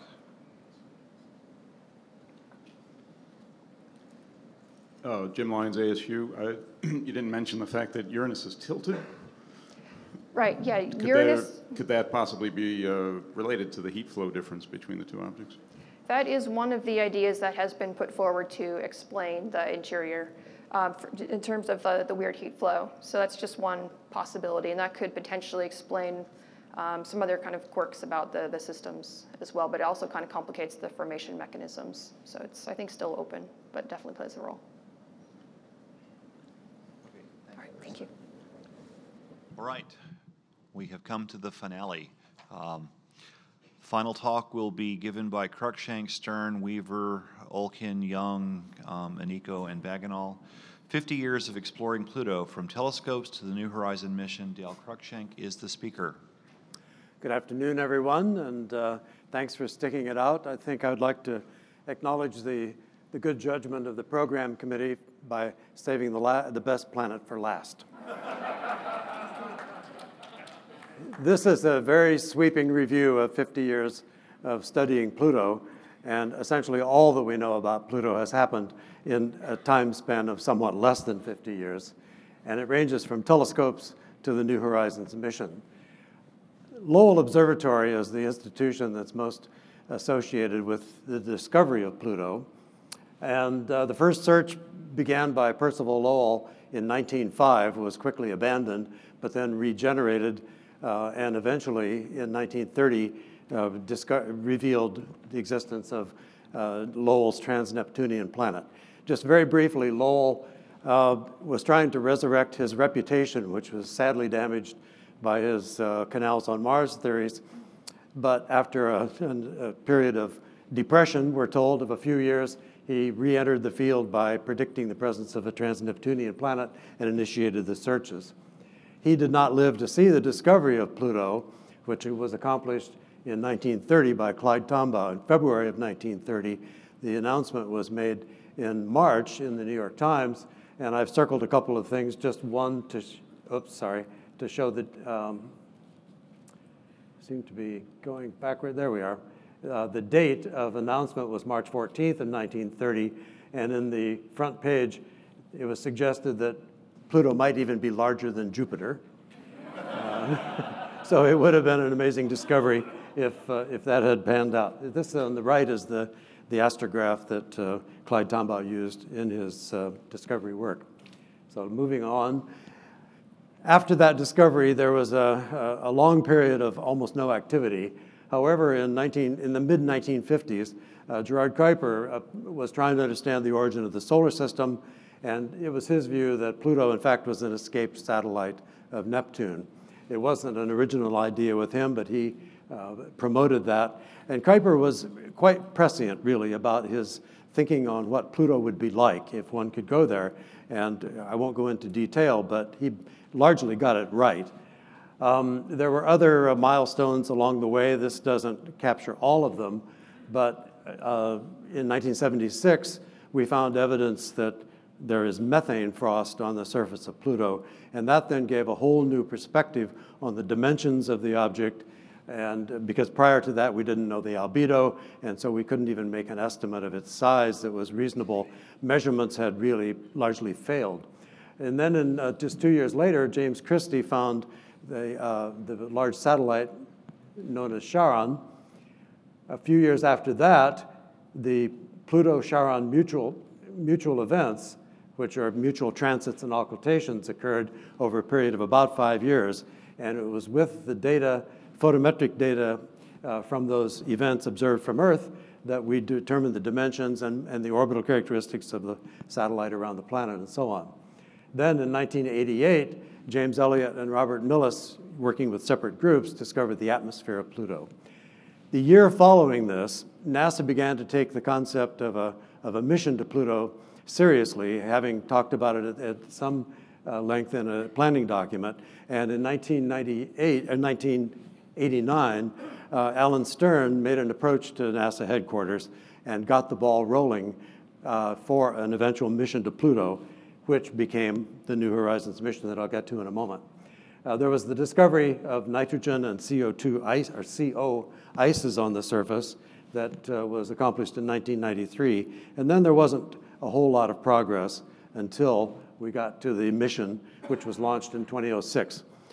The build up to the New Horizons mission decisions, counter decisions, and so on, the entire fascinating story is told in authoritative detail in the book by Alan Stern and, um, and Grinspoon, which I hi highly recommend as a, as a great adventure story with an enormously happy ending. So anyway, the launch was in 2006. In nine and a half years, we actually arrived at the planet Pluto. And I do refer to it as a planet, by the way. It's a, a preference of mine, but anyway, you may take issue with that. In any event, uh, when we got to Pluto, the trajectory past the planet at a, at a uh, velocity of nearly 14 kilometers a second is shown by the yellow line here. We approached it basically like a bullseye, made the closest approach to the planet here at a distance of about 10,000 kil, no, about 1,200, 12,500 kilometers. And then not long after that, about an hour or so, went through the shadow of Pluto, which gave an occultation of the, of, sun, of the sun and the Earth seen from the spacecraft. And then an hour and a half after that, we went through this shadow of Charon. And this gave unprecedented opportunities to uh, explore the atmospheres and the, the near surface environments of those two objects. This is a, a, a cute illustration, I think, that, that gives us an idea of just how much we gained in just in spatial perception of Pluto compared to the best um, available image of Pluto taken with the Hubble Space Telescope over here on the left, and a pixelated, diffused image of the Earth at essentially the same scale, the same resolution, I should say, and the difference that the, a close-up look can make.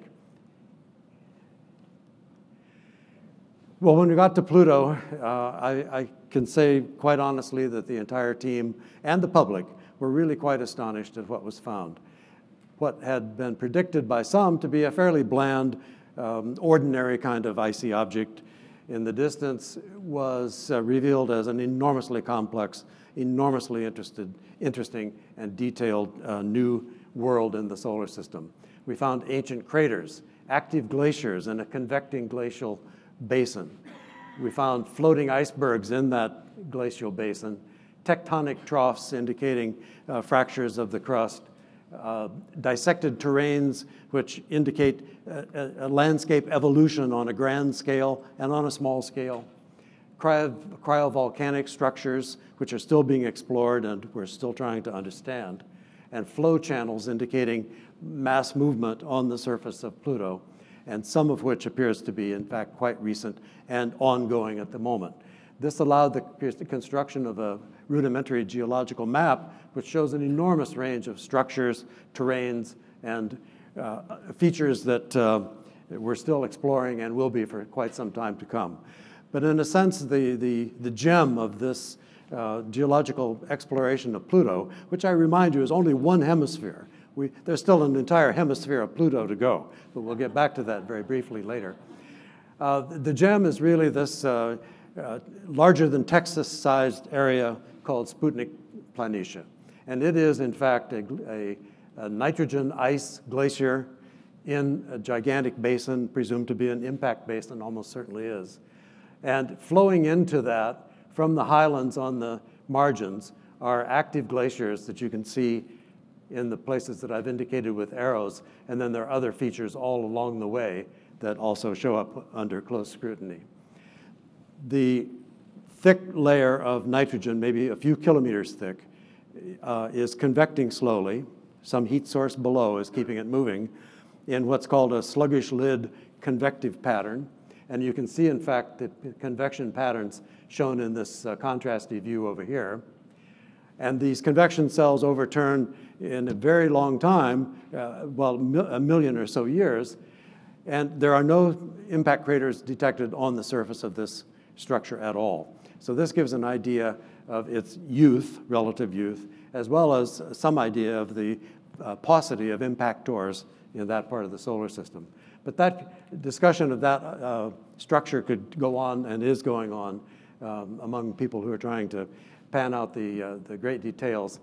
One of the important parts of this, though, is that the presumption is that Sputnik Planitia, the impact basin in which it is formed, ultimately produced a gravity anomaly which reoriented the planet Pluto with its large satellite, such, as, such that the, uh, the Sputnik Planitia is exactly antipodal to the, uh, uh, the satellite on the other side of the planet.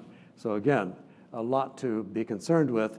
We find uh, tectonic structures at various places along the, uh, the uh, margins of Sputnik Planitia. And in the walls of these graben troughs, we find layering, which indicates changes in, in, the, uh, in, in, the depositional uh, properties and uh, processes that have gone on over uh, Pluto's lifetime. And there are some jumbled blocks of water ice that are floating in this nitrogen sea near the margins. And we find layers in, the, uh, in those blocks as well. So the history of Pluto is really written in these layers, and someday we would love to go back and uh, sort that out. More details along the margin of Sputnik Planitia, flow channels, a dry lake here that's about 30 kilometers across, and other structures. Here you can see the convective cells very nicely as well. I have to go quite quickly, uh, but uh, one of my current favorites is the potential for uh, revealing fairly recent cryovolcanism on Pluto in a region of tectonic stress, again on the margin of Sputnik Planitia, in a place where we see some evidence for the explosive ejection of material, water ice that contains uh, ammonia, as well as what we are quite confident is uh, a high concentration of organic solid material.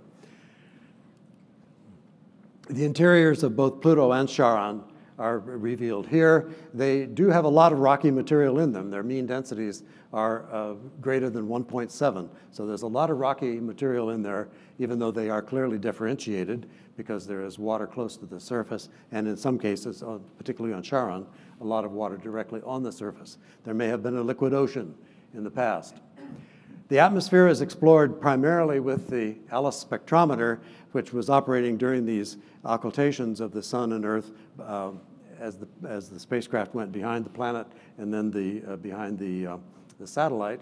And so I won't go into detail about this, but this uh, investigation of the atmosphere of Pluto has resulted in uh, the uh, discovery of the distribution of various components revealed in the ultraviolet spectrometer, but with altitude, and the definition then of the uh, structure of the atmosphere that you can see here with altitude, the, the abundances of the C2 hydrocarbons and nitrogen are shown uh, in these different colored things here.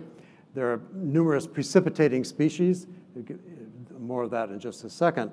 But looking back at Pluto with the sun on the distant side, we see this beautiful halo of blue-colored haze surrounding the planet.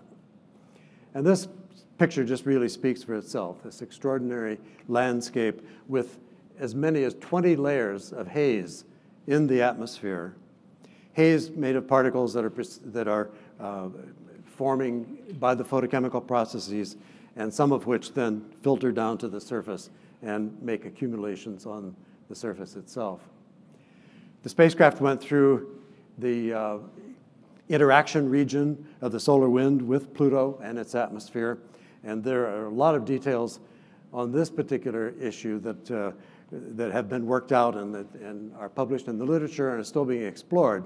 But just to note a couple of highlights, comparing the uh, interaction region of the solar wind with Mars and that of Pluto, we have uh, interesting differences and interesting similarities. The reaction regions are comparably, uh, comparable sizes even though Pluto itself is much smaller than Mars. And a few of the particular discoveries at Pluto were that the um, escape rate of primarily nitrogen, uh, uh, sorry, yes, primarily methane, is on the order of 6 times 10 to the 25 uh, molecules per second.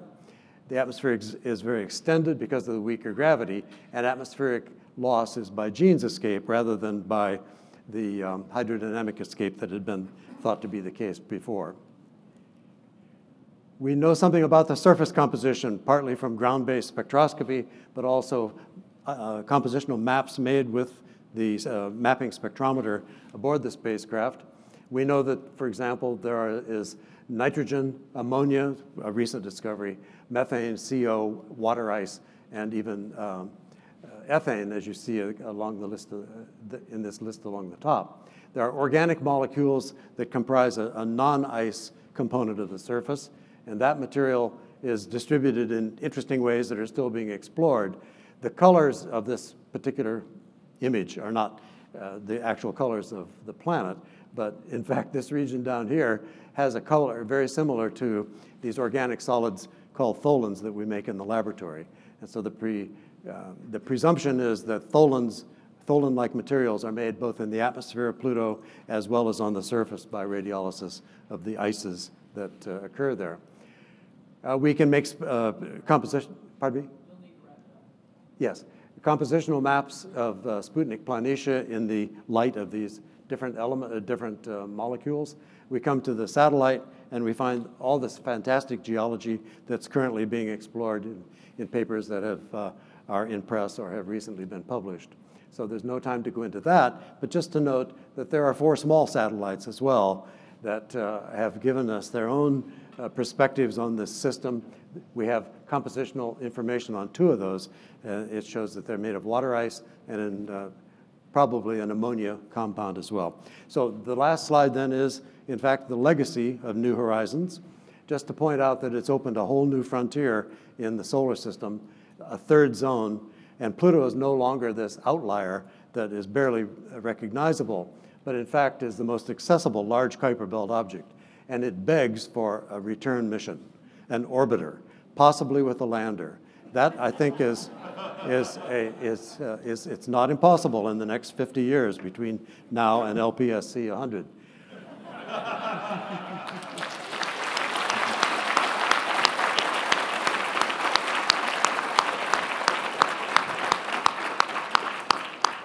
And the last Thank point you. then is what we see here, the most, the most recent discovery as we flew by uh, Ultima Thule as described on Monday morning. Thank you very much. And we don't have any time for questions because we have to vacate this room uh, so that they can reset it. I'd like to take this opportunity to thank all of the speakers for this session. Have a good evening.